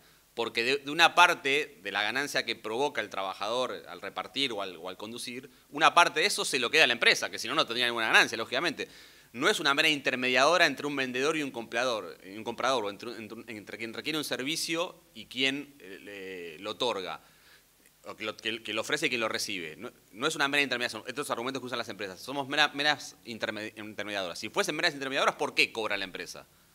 Que cobre directamente el chofer o el repartidor, pero no, no cobra el chofer o el repartidor. No solamente hay una apropiación de la ganancia por parte de la, empresa de la plataforma y una apropiación del trabajo, por tanto, que es lo que justifica la existencia del derecho del trabajo y del contrato de trabajo, sino que además ese pago es tardío, 15 días. Esto es lo mismo que pasa en el contrato de trabajo clásico, un trabajo mensualizado, por ejemplo, eh, una pequeña digresión, ¿no? Uno contrata a un trabajador o uno, uno es contratado y cobra a mes vencido, ¿no? Que esto es algo que, en, lo que no se, ha, no se ha detenido mucho la, la doctrina laboralista, pero es muy interesante porque esto no pasa en ningún otro contrato. Si nosotros, por ejemplo, supuestamente el contrato de trabajo es una derivación del contrato de locación, de locación de servicios, ¿no? Si vos alquilás un departamento, estás un mes entero sin pagar o pagás al entrar. ¿eh? Pagás al entrar, lógicamente, ¿no? En cambio, el contrato de locación de servicios laborales, el contrato de trabajo, es el único servicio en el cual el prestador, el, locador, no cobra al principio, cobra al mes vencido, lo cual es insólito, pero es lo que dice la ley. ¿no? Eh, la ley, la ley, el contrato civil, al regular el contrato de locación, dice lo contrario. El contrato de locación es así porque está establecido en la ley. Es decir, el locador, el dueño del inmueble, cobra antes. El locador acá, que es el trabajador, el que alquila sus servicios, cobra, cobra mes vencido. Bueno, las aplicaciones es exactamente lo mismo. los viajes los cobra a los 15 días. Y en, esa plata, no, piensen en un, en un, trabajador, piensen en los millones de trabajadores que tienen. ¿Saben el rendimiento financiero que ponen esa plata en 15 días? Bueno, ahí, ahí está hay una prueba clara de la genialidad, ¿no? Pero además de la genialidad la ganancia, que es clara, hay genialidad, lo que los españoles llaman la genialidad en el mercado. Y esto que dijimos hace un ratito, que proveedor, el, perdón, el, conductor de Rappi o de Uber o el que fuera, si no existiera Uber o Rappi, no podría eh, instalar sus servicios en el mercado, no lo contrataría a nadie la marca Uber o la marca Rappi, con la publicidad, con todo lo que conocemos, las herramientas muy, eficientes que tiene el capitalismo para esto, eh, no lo llamaría nadie. Si pone un cartel en la casa que dice reparto cosas a domicilio o transporto cosas a domicilio, eh, pasajeros a donde quieran ir, con un cartel en su auto, no lo contratan absolutamente nadie. Entonces ahí es genial el mercado, sin duda es genial. Por tanto, trabaja en favor de otro en los términos del artículo 21 de la ley de contrato de trabajo, es decir, trabajo por cuenta ajena clásico. La, tercera nota tipificante, dependencia. La dependencia es donde, donde más discusiones se dan en la jurisprudencia sobre cómo definirla. Hay muchas, mucho, mucho debate sobre esto en los casos grises, esto de los fleteros, profesionales universitarios, etc. Y muchos incurren en lo que para mí es un error, como decía antes, de decir, bueno, la dependencia hay cuando hay un supervisor que le da órdenes todo el día, cuando hay un horario fijo, cuando hay un lugar fijo de trabajo, cuando el trabajador, que cualquier falta menor que comete lo pueden sancionar inmediatamente. Y, para la prueba, los tribunales muchas veces exige esto, ¿no? que vean que un compañero de trabajo vio que le daban órdenes y lo hacían cumplir un horario, etc. Eh, pero la dependencia en realidad no es eso, la dependencia es el poder que tiene el empleador, por ser propietario de medio de producción, de reemplazar la voluntad del trabajador por la suya. Es decir, que el, empleador puede ordenarle al trabajador una conducta que con la correlativa obligación del trabajador de acatarla. Todos, todos los que trabajamos, seamos trabajadores o empleadores, sabemos bien esto, que esto está implícito, no es necesario explicarlo siquiera, y algún trabajador que conoce su oficio no es necesario darle órdenes todos los días. Sabe lo que tiene que hacer y sabe también lo que le puede pasar si no lo hace. Que lo pueden primero apercibir, luego suspender, eventualmente despedir. Pesa sobre él un poder disciplinario. Eh, pero esa, esa dependencia se caracteriza por la mera potestad, para el poder que tiene el, empleador de reemplazar la voluntad del trabajador por la suya, aunque no la ejerza en el caso concreto, aunque no, no le dé órdenes en el caso concreto, aunque no haya aplicado ninguna acción porque es un buen trabajador y nunca incurrió en faltas o lo que fuere.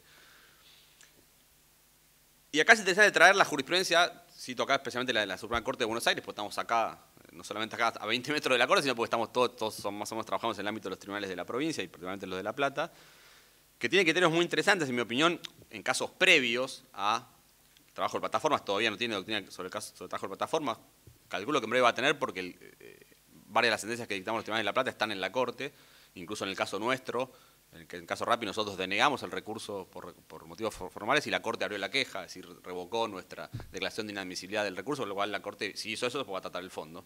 Es decir, solamente en breve va a haber sentencia de la Corte sobre este tema, de la Corte de la provincia.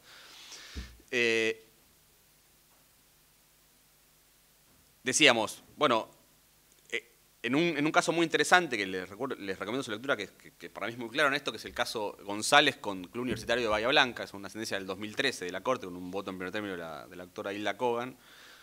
Eh, e-, era un profesor de teatro, no tiene nada que ver con esto, pero justamente era un, profesional independiente que obviamente, ¿quién le puede dar directivas a un profesor de teatro de cómo hacer su trabajo? ¿no? Lógicamente que un club no se lo puede hacer porque no tiene la formación, ¿no? alguien que se formó, estudió para eso, no tenía ningún horario fijo, no tenía ningún tipo de... Nadie nunca le había visto a ningún directivo del club darle alguna, alguna orden, etc. Entonces, el club decía, no hay, no hay relación de dependencia, es un profesional independiente, es un contrato de ocasión de servicios. Y el tribunal que intervino en primera instancia, el Tribunal del Trabajo de Bahía Blanca, creo que era el 2, no me acuerdo eh, exactamente, por mayoría entendió que no había relación de trabajo. El, profesor recurre y la Corte revoca la sentencia, en términos que son muy pedagógicos para mí, eh, entre otras cosas dice esto, ¿no? La, creo que incluso lo había copiado para, para leérselos porque es muy, es muy claro, a ver si lo encuentro.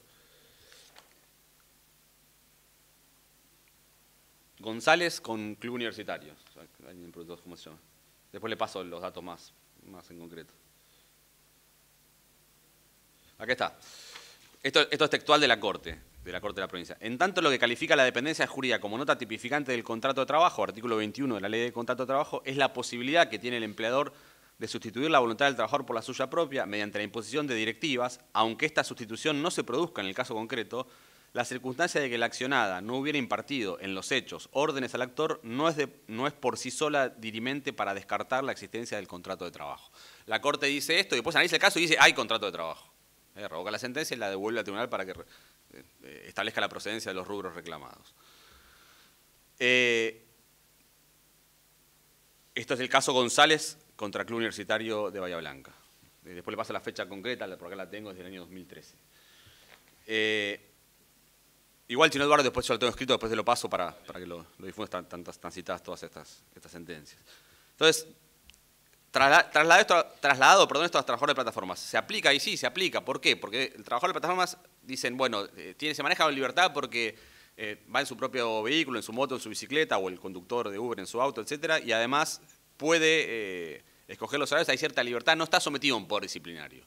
Y eso no es cierto. Si uno lee, si uno lee los contratos estos de, entrada de, de, los, de, los, conductores, que me ha tocado hacerlo, se ve clara la dependencia porque hay pautas muy fijas de trabajo, hay pautas para manejar las aplicaciones, sometidas a, un castigo si no se cumplen, incluso la desconexión parcial o total. La desconexión parcial sería una suspensión o la total un despido. Eh, y si un trabajador, por ejemplo, un día decidió, que es lo que podría ser un trabajador libre, si, fuese verdaderamente independiente, decidió no trabajar, un trabajador autónomo lo puede hacer, hay sanciones encubiertas muy claras que son negarle los viajes de los mejores horarios a los días siguientes. Eh, si un trabajador decide un día no trabajar o rechaza viajes, le, entran viajes que la empresa, la plataforma le asigna y los rechaza porque está ocupado, está haciendo otra cosa, lo que fuere, o no puede, o, está enfermo, lo, que sea, o decidió no hacerlo simplemente como podría ser un trabajador autónomo. Bueno, hay, castigos muy claros que son esto, negarle los viajes de los mejores salarios para los días siguientes y puede terminar incluso una desconexión final que es el despido, si se acumulan sanciones. Entonces hay poder disciplinario, aunque no, sea el, clásico tener un jefe al lado que te está contando todo el tiempo. Por otra parte, como todos sabemos, estas eh, aplicaciones hacen control por GPS en tiempo real, saben en, dónde está el trabajador, qué está haciendo. Eh, algunos vehículos de Uber en algunos países ponen cámaras dentro del vehículo, se le poner cámaras dentro del vehículo incluso, lo cual genera una, otra, discusión si, consideramos que es un contrato de trabajo respecto de los mecanismos de control de los artículos 72 y siguientes de la ley de contrato de trabajo. No hubiera el derecho a intimidad, eso, entre otras cosas, pues una discusión también interesante. Hay sentencias del, Tribunal Constitucional de España sobre eso muy interesantes. Eh, pero lo cierto es que, independientemente de esos casos extremos, hay una dependencia porque hay una imposición de directivas y hay la posibilidad de reemplazar la voluntad del trabajador, que no puede negar viajes libremente o un día, dos, cinco días no trabajar sin consecuencias negativas. Si fuese un trabajador autónomo, eso no tendría que tener para consecuencias negativas, pero sí las tiene. Hola, buenos, días. Eh, finalmente, para avanzar un poco más rápido, el, el, cuarto elemento tipificante del contrato de trabajo, que es el salario. ¿no? Bueno, el salario no es, un, es una nota, obviamente, necesaria para que exista el contrato de trabajo, pero no es una nota exclusiva del contrato de trabajo. Hay muchos contratos en el derecho civil que tienen una contraprestación en dinero, incluso en la ocasión de servicios. De hecho, el actual Código Civil y Comercial llama a remuneración a la contraprestación en algunos contratos civiles, toma incluso el nombre eh, del derecho del trabajo, no llama más ni canon ni, ni contraprestación, sino lo llama expresamente remuneración en algunos contratos, el nuevo Código Civil y Comercial. Es decir, es una nota necesaria pero no suficiente para que haya contrato de trabajo y no es exclusiva del contrato de trabajo. Pero en todo caso, estos trabajadores reciben una suma de dinero liquidada, generalmente quincenalmente, a veces mensualmente, como contraprestación por esa puesta a disposición de su trabajo, lo cual hay remuneración, que es el cuarto elemento del contrato de trabajo. Entonces, pareciera que estos cuatro elementos están con bastante nitidez en este tipo de relaciones.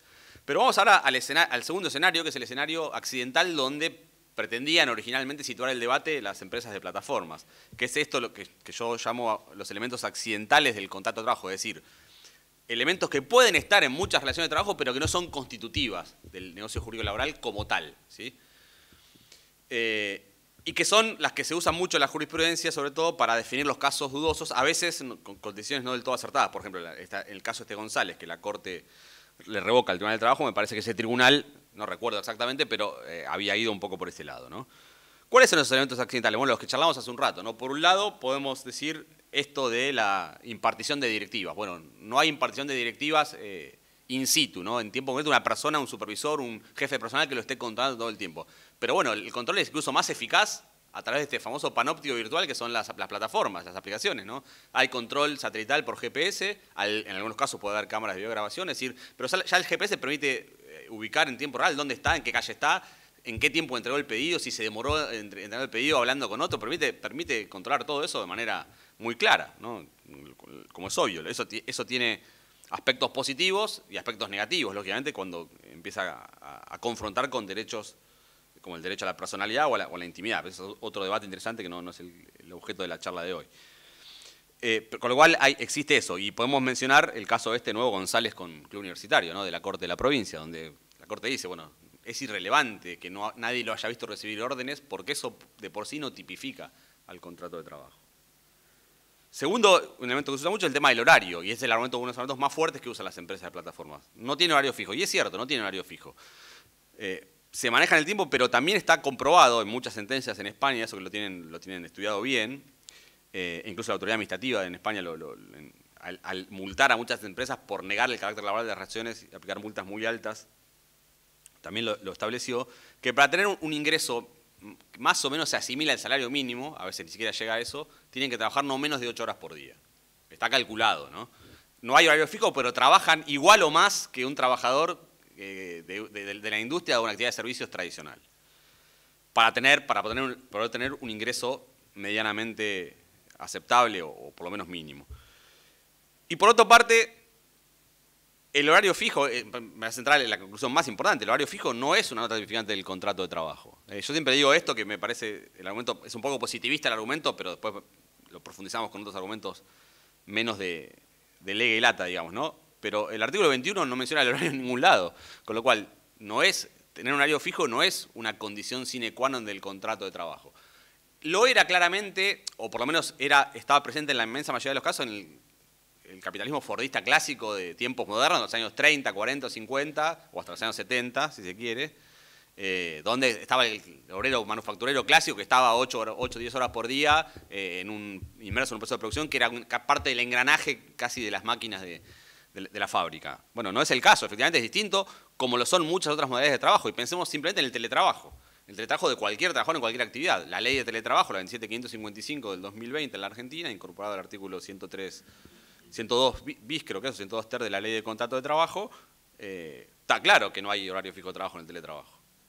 Hay, sí hay límite a la jornada de trabajo, pero incluso recuerden que la ley de teletrabajo, ahora parcialmente intentada reformar por el DNU 7023, pero, pero en este aspecto no, eh, establece la, posibilidad de interrumpir el trabajo para tareas de cuidado, por ejemplo, o para eh, cuando sea indispensable para, para, para alguna cuestión personal del trabajador o la trabajadora, y nadie discute que el teletrabajo es trabajo regulado por el contrato de trabajo. Es, una, es un contrato especial de trabajo, si se quiere, pero con niveles de protección, incluso en algunos casos mejores que, los propios que establece la ley de contrato de trabajo.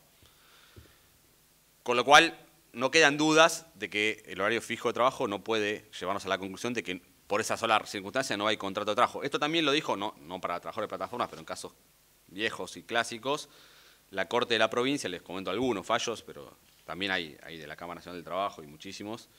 Eh, uno es un caso famoso que es Bambil, Bambil con obra social, que es un fallo de 1991, viejo, es un médico de una obra social que estaba discutido si era relación de trabajo o no, la, obra social decía que no, él decía que sí, y la Corte de la Provincia eh, dice sí, hay contrato de trabajo y refuta el argumento de la obra social diciendo, bueno, pero no tenía horario fijo de trabajo. Y la Corte dice, cierto, no lo tenía, pero eso es irrelevante para definir si había o no había contrato de trabajo. Bambil, Washington con obra social, eh, es un fallo del, creo que tengo la cita por acá exacta, pero del año 1991. ¿sí?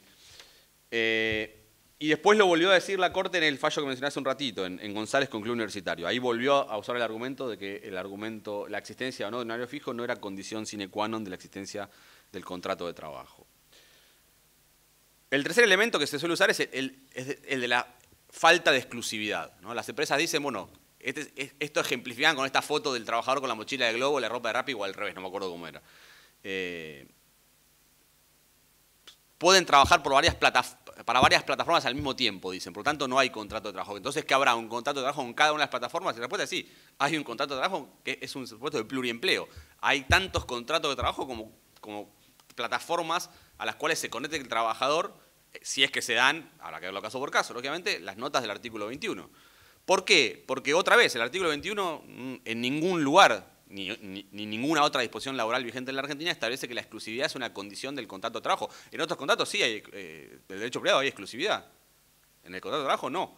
En la medida que cada trabajador pueda cumplir todas las obligaciones asumidas en cada contrato de trabajo, si tiene un horario de tres horas con uno, de un contrato a tiempo parcial con uno de cuatro horas y a la tarde otro contrato a tiempo parcial, hablando de los contratos clásicos, ¿no?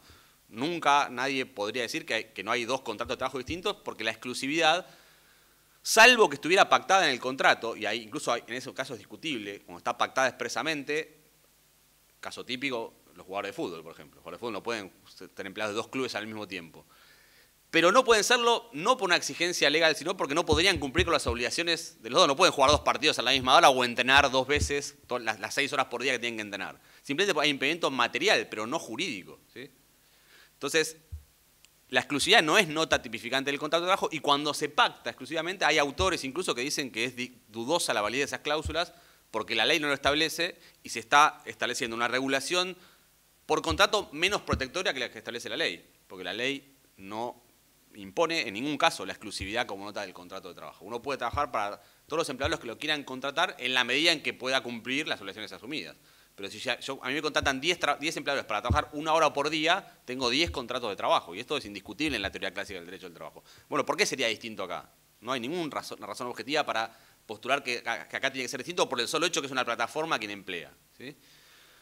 Y, en todo caso, no, es nota exclusiva. ¿no? Esto también, en casos previos al trabajo de plataformas, le dijo la Corte de la Provincia en varios fallos, menciono uno, que se llama eh, Ramundo. Ramundo con Robles, una sentencia del año 2012, eh, un trabajador de la, industria de la carne. Después lo, paso, les paso con más concreto los, datos. Bueno, entonces este argumento tampoco nos sirve, no sirve la, ausencia de dependencia porque la hay, no nos sirve la, ausencia de exclusividad porque no, está tipificante, la, inexistencia de un horario mínimo tampoco. En definitiva, tenemos, para empezar a, hacer unas conclusiones preliminares, dos, primeras eh, definiciones. Una, si uno va a donde primero tendría que ir, al escenario principal, el de la definición jurídica positiva del contrato de trabajo, todas y cada una de las notas que ahí están establecidas, en nuestro caso, en el artículo 21 de la LST, están presentes en este tipo de relaciones, por lo general. Puede haber un caso en que no y habrá que, discutirlo judicialmente. Y en segundo lugar, aún situándonos en el escenario de los, elementos accidentales o notas accidentales del contrato de trabajo, ninguna de ellas es relevante para excluir de por sí ¿eh?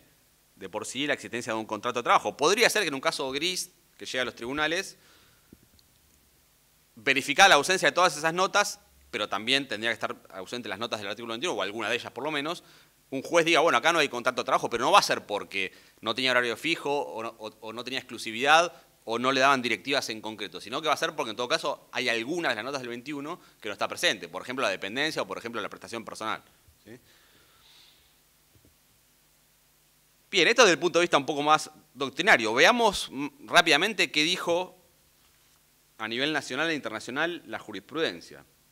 Empiezo por el nivel internacional, no, porque lo considere más importante, aunque como referencia es una pauta relevante, ciertamente, sino porque vieron que es muy común, el, yo lo llamo el argumento de Luis Solari. Luis Solari es un personaje de Capusoto que nunca viajó, pero le contaron. Entonces siempre dice, fuera del mundo todo es mejor. Entonces vos vas a Finlandia, tomás un café por un euro y es el mejor café del mundo. Vas a Argentina, te sale 5 euros y es un jugo de paraguas. ¿no? se, puede, no se puede tomar porque te parte, te perfora el estómago. Bueno, véanlo, pues es muy gracioso si no lo vieron. Bueno, no, no, soy un Luis Solari del derecho del trabajo, pero no, es que digo, como en Europa lo dijeron, es así, pero sino que los argumentos que usan son muy parecidos a los que podemos usar acá con nuestra propia legislación. Por eso, como, usando como pauta de referencia el derecho comparado y no porque sea una verdad eh, revelada lo que, lo que ellos dijeron. Pero son tribunales muy importantes en casi todos los países de Europa, pero menciono los tres casos más relevantes, que son los, tribunales superiores de España, de Francia y, del Reino Unido. El primero fue el de Francia, la Corte de Casación de Francia, en marzo del 2021, ¿eh? que en un caso de Uber, caso de Uber, dijo con toda contundencia que hay, contrato de trabajo. Que no hay... No, les reitero, si quieren, si quieren leer un breve fragmento de la sentencia, que está traducida al español, así que se puede leer eh, con, facilidad, y, no es muy larga además. Eh, pero dice, hay contrato de trabajo, es un contrato de trabajo clásico, no requiere ninguna hace este obiter dictum, ¿no? no requiere ninguna legislación especial porque la legislación francesa, la legislación laboral francesa alcanza para encuadrar sin ningún forzamiento esta relación, y los argumentos que usa son más o menos los que más o menos estuvimos resumiendo, ¿no? no es que son argumentos muy diferentes, porque además también uno va tomando de ahí los argumentos, pero eh, les leo brevemente una, parte. La sentencia es del 4 de marzo del 2020, es la, sentencia número 374, eh, la llaman por número, ya no, por las partes. Eh, dice, los vínculos en estos vínculos el trabajador se integra a una empresa de transporte creada y enteramente organizada por Uber, que existe únicamente gracias a dicha plataforma, un servicio de transporte a través del cual no constituye su propia clientela, no fija libremente sus tarifas o las condiciones de ejercicio del servicio, los cuales son regidas en su totalidad por la empresa. Ese es el considerando 10, la sentencia de la Corte de Casación de Francia. Sin que el hecho de poder elegir los días y los horarios de trabajo excluya por sí misma la relación laboral, lo que recién veíamos, considerando 11, todo lo cual lleva al tribunal a concluir que la condición de trabajador autónomo del actor era ficticia y que Uber había dado instrucciones, controlado su cumplimiento y ejercido la facultad de imponer sanciones, considerando 15. Hay más argumentos, pero son más o menos los que estuvimos trabajando acá. Lo mismo en España. En España el Tribunal Supremo, que es el... Ellos saben que en, muchos países de Europa tienen Tribunal Constitucional y, lo que se llama esta Corte Suprema, es decir, está disociada el control de constitucionalidad de la función de casación. El Tribunal Supremo, que es el Tribunal Superior no constitucional, sino de, justicia ordinaria de casación, la Sala de lo Social, que es la Sala de Derecho al Trabajo y la, Seguridad Social, eh, la sentencia 805 del 2020, es del 25 de septiembre del 2020, dijo lo mismo en el caso de Globo, ah, ya no en plataformas de, transporte como en el caso francés, sino de reparto de mercaderías. Eh, los argumentos son más o menos los mismos, pero un argumento novedoso que introduce para mí la sentencia del, Tribunal Supremo de España es el tema de la, discusión de la infungibilidad, que lo comentamos hace un ratito, ¿se acuerdan? Dice, es irrelevante que en algún caso excepcional pueda un repartidor hacerse eh, eh, sustituir por otro porque no puede cubrir un viaje, porque eso no, enerva eh, el carácter laboral, como el propio Tribunal Supremo lo dijo en casos anteriores, por ejemplo, de profesionales universitarios, y cita sentencias propias de 20 o 30 años atrás, de la cual ya lo había dicho en relación a otro tipo de relaciones de trabajo. El argumento novedoso para mí del Tribunal Español es, el tema de, que la, supuesta ausencia de infungibilidad no provoca necesariamente, habrá que verlo caso por caso, la inexistencia del contrato de trabajo. el caso español es interesante porque además eh, una investigación que, es de un autor que se llama Francisco Trillo, que el año pasado estuvo acá en la, Facultad de Derecho de La Plata, lo, trajimos a, a, una, una conferencia muy interesante, él hace un, estudio de campo donde, de la jurisprudencia española hasta el año 2021, creo que es, o principio del 2022, que de 50 sentencias dictadas en España sobre el tema, 47 dijeron que había relación laboral. 47 sobre 50. Así solamente tres jueces dijeron que no la había y esas sentencias seguramente habrán sido revocadas luego que el Tribunal Supremo estableció su doctrina, porque en España hay lo que se llama el recurso de unificación de doctrina. Si hay, si hay dos tribunales superiores de provincia, serían las cortes provinciales de comunidad autónoma, fallan contrario, existe un recurso para que, el Tribunal Supremo unifique doctrina. Entonces van al Tribunal Supremo y el Tribunal Supremo ya unificó doctrina con esta sentencia, la, 805, con lo cual las, tres, las tres que dijeron que no, si fueron recurridas, terminan, siendo que sí.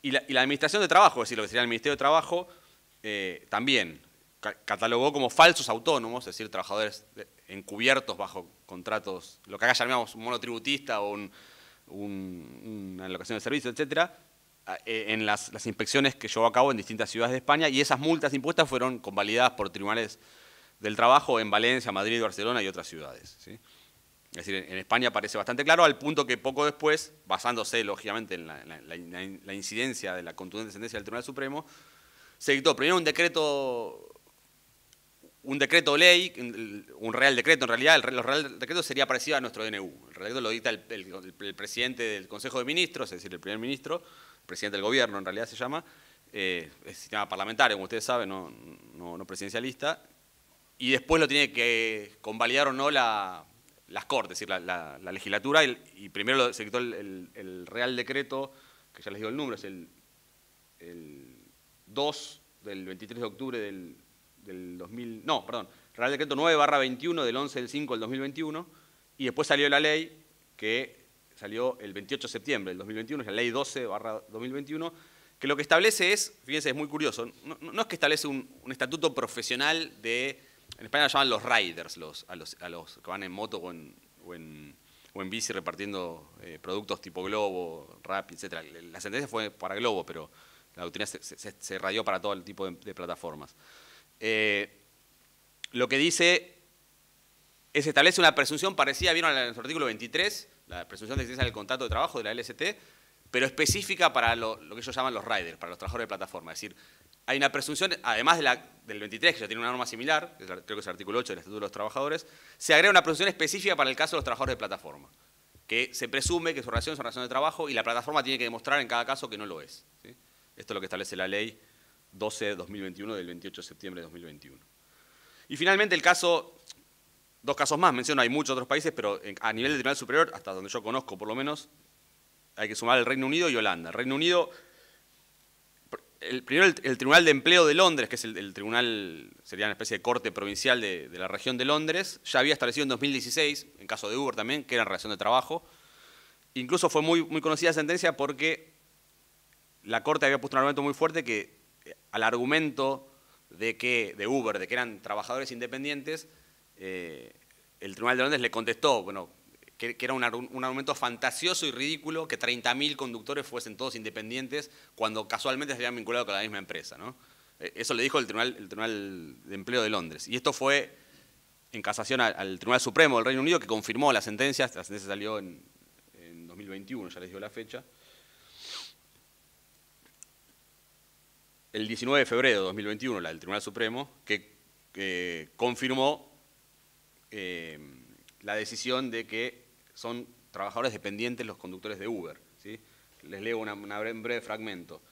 Eh, con sentencia unánime, el tribunal destacó que los conductores de la compañía no son autónomos vinculados por contratos de servicio, es decir, lo que sería nuestra locación de servicio, sino trabajadores por cuenta ajena con derecho a acogerse a la legislación laboral. Destacó que el propósito general invocado por los demandantes no ofrece dudas, es decir, por los trabajadores. Se trata de proteger a los trabajadores vulnerables de la posibilidad de que se les pague muy poco por la tarea que realizan, que se les exija trabajar un número excesivo de horas o que se hallen sujetos a cualquier tipo de tratamiento injusto, como sufrir represalias por denunciar anónimamente su situación.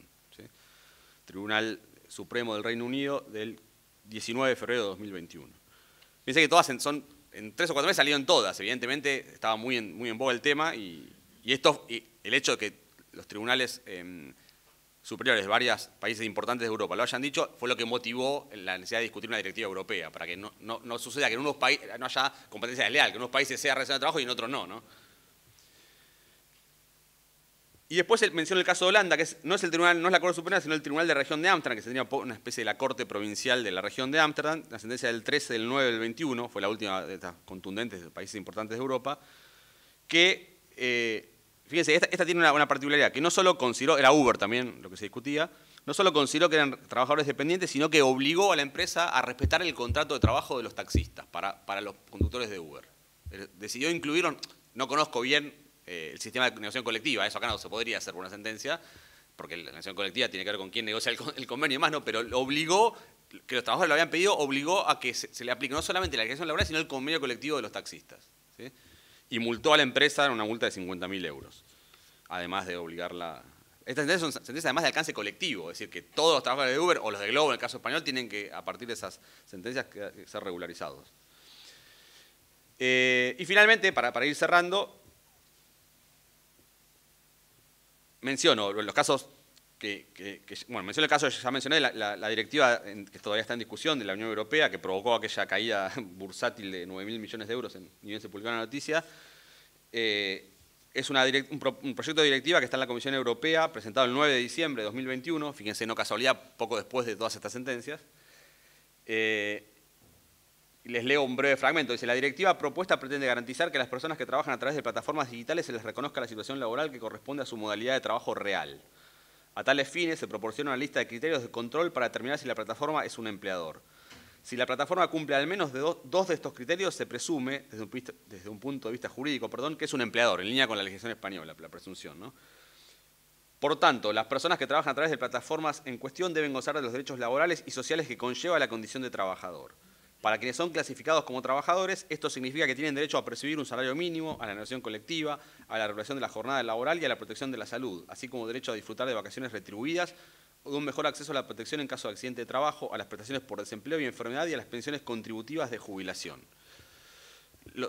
estos conductores, en los casos de estos conductores, se reúnen todas las características de un contrato de trabajo. Es el proyecto directiva que tiene que ser aprobada por los representantes de todos los países, es un proceso complejo y muy largo, veremos si, es fructífero al final o no, pero bueno, no es menor que, se haya presentado el proyecto y es un proyecto presentado por las propias autoridades de la Comisión Europea. No es por un, parlamentario, sino que la propia Comisión Europea lo, presenta, como si lo presentara acá el Poder Ejecutivo un proyecto. Eh, y después, una breve referencia sobre un informe que hizo la OIT, que ha hecho varios, pero quiero mencionar particularmente lo que hizo la OIT, la oficina de la OIT en Argentina lo hizo.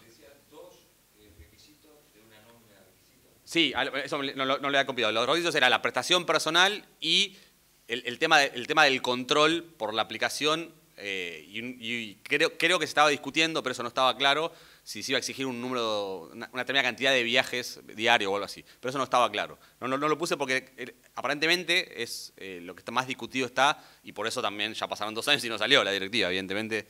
Supongo también, no lo conozco, pero supongo que la presión económica de estas grandes empresas para que no salga debe ser muy grande, ¿no? Pero el problema que tiene la Unión Europea, recuerden que la finalidad de su creación es hacer no solamente un mercado común, sino un piso de protecciones más o menos idóneas para todos los habitantes de todos los países y lo que si no, sale a directiva es un problema grande porque en los países que todavía no tienen sentencia eh, o ley que diga que son trabajadores van a, van a tener un régimen diferencial de acuerdo a cada, país que eso va contra la propia idea de la, unificación jurídica de la Unión Europea. ¿no? Eh, bueno, y la OIT hizo un informe, la oficina de la OIT en la Argentina lo hizo, en 2021, en plena pandemia, me acuerdo que fue. Eh, y la OIT, la, oficina argentina, la OIT, la coordinadora, ustedes saben, en, las oficinas de, los países eh, de la OIT, quien conduce la oficina siempre es un extranjero para que no, haya incidencia de los actores locales, ¿no? Y, en la Argentina la conducía una, una jurista mexicana, Elba López Moruelo. Eh, y, hay, esto está publicado, después se, lo paso, está publicado en la página de la OIT. Eh, hay, un, documento de trabajo que se llama El trabajo en las plataformas digitales de reparto en Argentina, análisis y recomendaciones de política. Y tras hacer un análisis de, todos estos elementos que estuvimos viendo también, eh, llega a dos conclusiones. Una, que son trabajadores dependientes y que deben estar protegidos por el derecho del trabajo. Y después dice que queda, en esto no es muy contundente, hay que decirlo, pero dice que podría discutirse la necesidad de establecer un estatuto especial, es decir, que no estuviera regulado por la LST, sino por la ley laboral específica, en la medida que se respeten las garantías mínimas que establece la Constitución y los convenios de la OIT en materia de eh, legislación eh, del trabajo básica, salarios mínimos, limitación de la jornada, etc. Creo que tengo por acá las conclusiones, se las, menciono. Mm. Pero respecto, respecto, respecto de que es eh, relación laboral es, es, categórica y lo hace sobre la base del análisis de la legislación argentina en este caso. ¿no?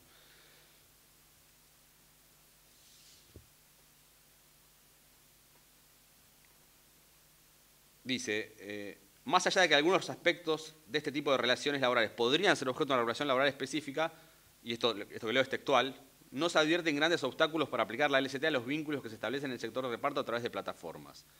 En consecuencia, entre las recomendaciones de políticas públicas se concluyó que el informe corresponde, se concluyó en el informe, perdón, que corresponde establecer un régimen de tutela que asegure a los trabajadores de plataformas digitales de reparto un estatus laboral y una protección acorde a las características de la actividad que realizan. Es decir, la conclusión es, son trabajadores dependientes, no hay obstáculo para aplicar a la LST, pero tampoco lo habría para un régimen específico que respete las garantías mínimas.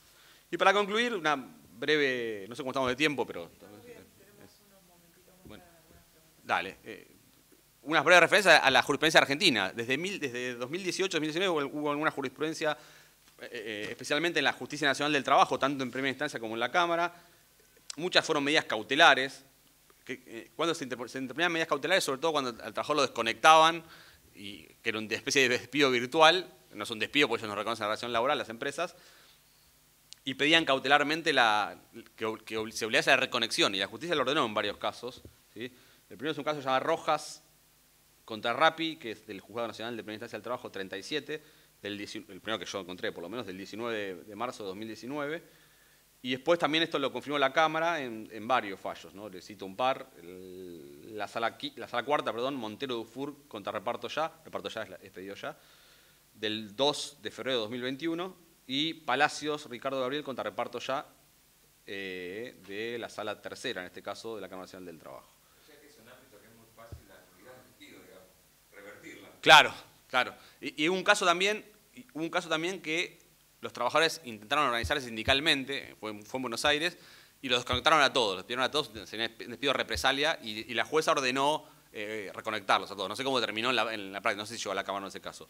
Y esto, esto lo dictó también un tribunal eh, eh, italiano, un tribunal de Bolonia en Italia, que ordenó reincorporar a varios trabajadores, no me acuerdo qué plataforma era, porque una plataforma, insisto, no recuerdo cuál, había establecido una pauta que los trabajadores que se pegaban a medidas de acción directa como huelga, después les asignaban los peores viajes, por ejemplo.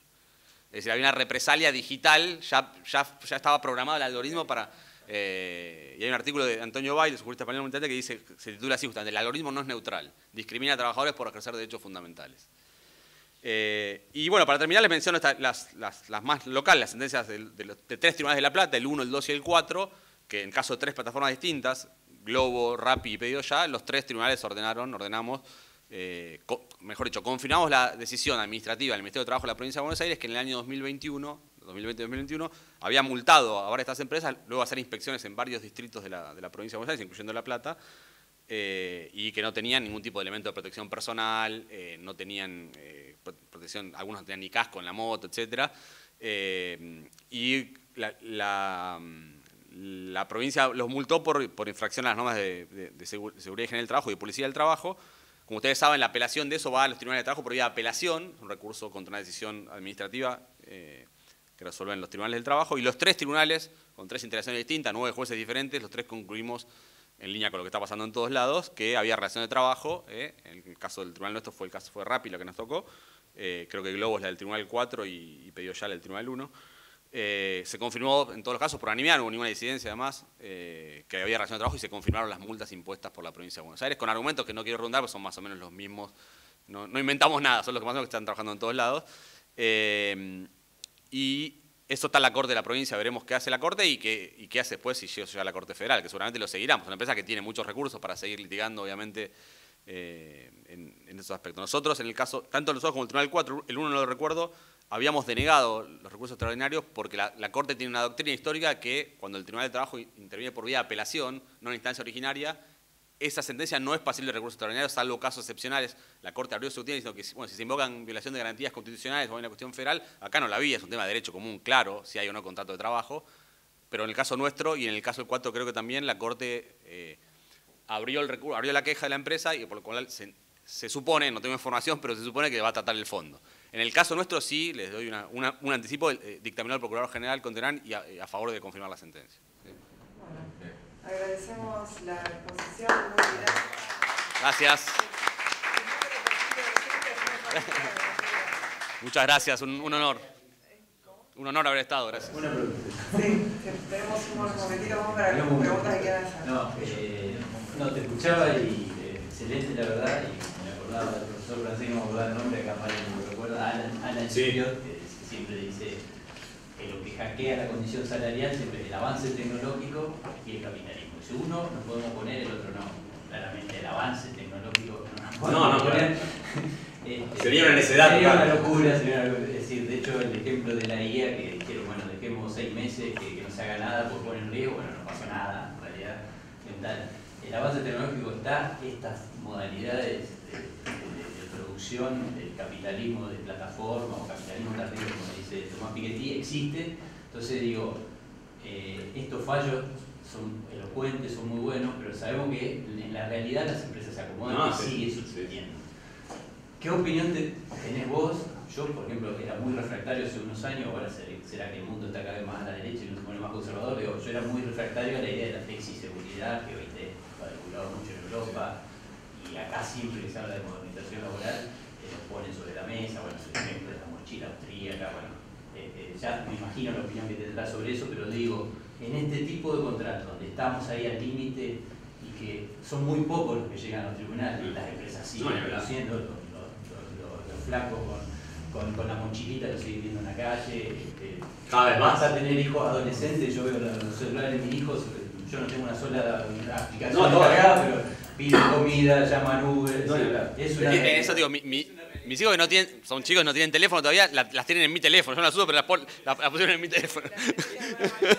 una realidad innegable de que cuando tenga hijos adolescentes y tenga que volver solo, en vez de levantarte a las 5 de la mañana a buscarlo, va a decir, tomate un Uber. Y sí. Sí, está eso. Digo, ¿qué opinión te merece esta idea de, no sé, por ejemplo, está la posibilidad de que se pida, que se incluya, siempre lo debatimos, la ley de riesgo de trabajo, bueno, Sí. a ver, que haya una cobertura, tengan una, un seguro de salud. Es decir. ¿sería para vos, este, no sé, bajar alguna bandera, declinar, resignarse un poco para no discutir, la Sí, sí, sí, para sí, darle sí, alguna seguridad? Sí, para no quedarnos discutiendo entre nosotros, y- sí, tal, tal cual. No, yo, para, para mí, lo- yo era, el- el- el- durante el gobierno anterior, el gobierno de- del presidente Fernández, el Ministerio de Trabajo estaba trabajando en la posibilidad de un estatuto, ¿se acuerdan que circuló? Muchos lo vimos, que en algunos aspectos reducía el, el nivel de protección y todos saltábamos y decíamos, bueno, no corresponde. Pero yo creo, yo, si bien desde el punto de vista eh, técnico-conceptual, creo que encuadraría perfectamente, como dije, en la, LST, esto nos sirve más para los casos ju- judicializados, como decís vos. Para mí sería importante que tenga una ley especial que diga expresamente que hay contrato de trabajo y que sea una ley especial y que después discutamos qué alcance, con qué alcance se aplica la ley de contrato de trabajo en la lógica del artículo 2, complementar, como pasa con, la- con el Estatuto de la Construcción, con casas particulares, etc. Una ley especial que en lo posible tenga las mismas garantías, pero que, que quede claro que una ley especial dictada por el Estado que, que hay una relación de trabajo. Como hizo España con la presunción o como, está discutiendo esa directiva europea. Porque si nos quedamos en el conformismo de decir, cada vez que llega un caso a juicio, la jurisprudencia mayoritariamente, veremos qué dice la Corte, dice que el contrato de trabajo, como decís vos, el 90% no llega a los tribunales y es muy importante que haya una ley eh, especial. Después habrá que discutir con qué nivel de protecciones, pero, pero que haya una ley especial al efecto simbólico. ¿sí? Que, la empresa no pueda decir, bueno, yo estoy discutiendo si esto entra o no en el LST, porque una ley te dice esto es una relación de trabajo y tiene estas garantías, estos derechos y estas obligaciones para cada una de las partes. Yo creo que eso que yo hago una autoridad, no estaba de acuerdo cuando se, se planteó hace cuatro años, hoy creo que hay, creo que, hay que hacerlo eh, pa- para, no sé si es como decimos, bajar, eh, bajar una bandera, puede ser que lo sea, después discutiremos cómo se compa- compa- compatibiliza perdón, eso con la ley general, con las reglas del artículo 2 del LST, el ST no, modificado por el DNU, porque si con modificado por el DNU vamos, muertos, está suspendida por ahora por la Cámara Nacional del Trabajo eh, y, vetado por el Senado, veremos qué hace la Cámara de Diputados, eh, pero eh, creo, creo que hay que hacer una ley, hay que hacer una ley pa- para, para, para garantizar seguridad jurídica bien entendida, en el sentido de que un trabajador no sea obligado, caso por caso a ir a la justicia para que lo reconozcan como tal, como trabajador, que ya la ley lo diga claramente. Yo la idea, estaba pensando exactamente lo mismo. Los casos que llegan judicialmente pocas veces son de trabajadores. ¿no? De hecho, nosotros nos Sí. a ver los, Mira, hubo- hubo- hubo- en el tribunal hubo muy poquito y se conciliaron todos. Las empresas pagaron, ¿eh? Pagaron, conciliaron bien y... Ok. Pero eso cuánto puede representar? Muy. Una ínfima, eh, 0,0 algo del 100% del universo, por eso creo que sería muy apropiado, y si tenemos que elaborar un tipo de conclusión de la, de la comisión, sugerir Sí. que haya una regulación especial que le reconozca la relación de dependencia y después se verá cómo articula. Sí, sí, con la O LCT. ex- o exigir, Ahí se incluye el 100%. o exigir la incorporación de los trabajadores al sistema de riesgo de trabajo. Sí, Sí. como fue en su momento con casas particulares cuando no estaba el estatuto, en los bomberos voluntarios, etc. Por ejemplo, porque la verdad que están expuestos a riesgo. Bueno, hay una sentencia de, de Gallardo, el juez contencioso de la ciudad de Buenos Aires, que, que en un momento ordenó paralizar las actividades hasta que no cumplían con normas de higiene y seguridad. Creo que la ciudad sacó una, una no sé, no sé, una, una resolución, creo que fue, no fue una ley, que, que obligaba a tener seguro de accidentes personales. No, no, no, no RT, pero creo que sí. La ley de riesgo será mucho más fácil, porque la ley de riesgo permite incluso evadir el debate Claro, y, claro. y darle la ley de riesgo a relaciones no laborales como las pasantías. Porque además, perdón, eh, eso sería muy importante porque además eh, ponen su vida en riesgo y ha habido muertos ya. Ha habido muertos en accidentes de tránsito y, y- y asaltados que sufrieron disparos por, en asaltos, que es muy común. Eh, bueno, un chico creo que lo balearon acá en 16 y 40 y pico, acá cerca, y no, no murió, pero de casualidad fue. Estuvo muy grave.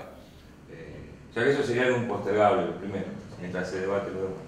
Sí, sí, yo estoy, estoy de acuerdo con, con- con lo que dice Gastón y lo que, dice- lo que decís vos, Eduardo. Y, y otra reflexión que te quiero hacer, eh, los sindicatos no reclamaron este, su punto de representación gremial, nada, no tienen, no casos gestionados o movilizados por sindicatos. Mirá, lo, lo hicieron, lo, hizo el sindicato de, vulgarmente le llamamos el de motoqueros, el de, el de delivery, eh, el nombre, el nombre concreto no sé, no me acuerdo. Eh, Ellos se atribuyeron la representatividad y plantearon algo, pero no sé en qué quedó. Nosotros nos reunimos, eh, yo soy director del Instituto de Derecho Trabajo del Colegio de Magistrados acá en La Plata y nos reunimos cuando estaba Enrique Catani de, de presidente de la, asociación, nos reunimos con el sindicato para discutir el tema, fue, fue ni bien asumido, creo que fue en diciembre del 19, por ahí, justo antes de la pandemia. Y pensamos trabajar en conjunto, después vino la pandemia, yo quedó tonando, no, no, sé en qué estado está la verdad, pero sí han hecho planteos y ya hay disputas de encuadramiento, porque el comercio también los quiere. Las empresas no encuadran en comercio, cuando, porque hay un tema, pedido ya los reconocían como trabajadores originalmente, era la única. Pero ¿qué pasó? No podía competir, porque las demás no lo hacían, hizo, y me consta, porque me lo contaron los chicos del sindicato, que pedido ya hizo un lobby con las demás para, para que todos registraran, no quisieron y entonces ella empezó también a no registrar. Pero lo registraba con comercio, por eso me acordé.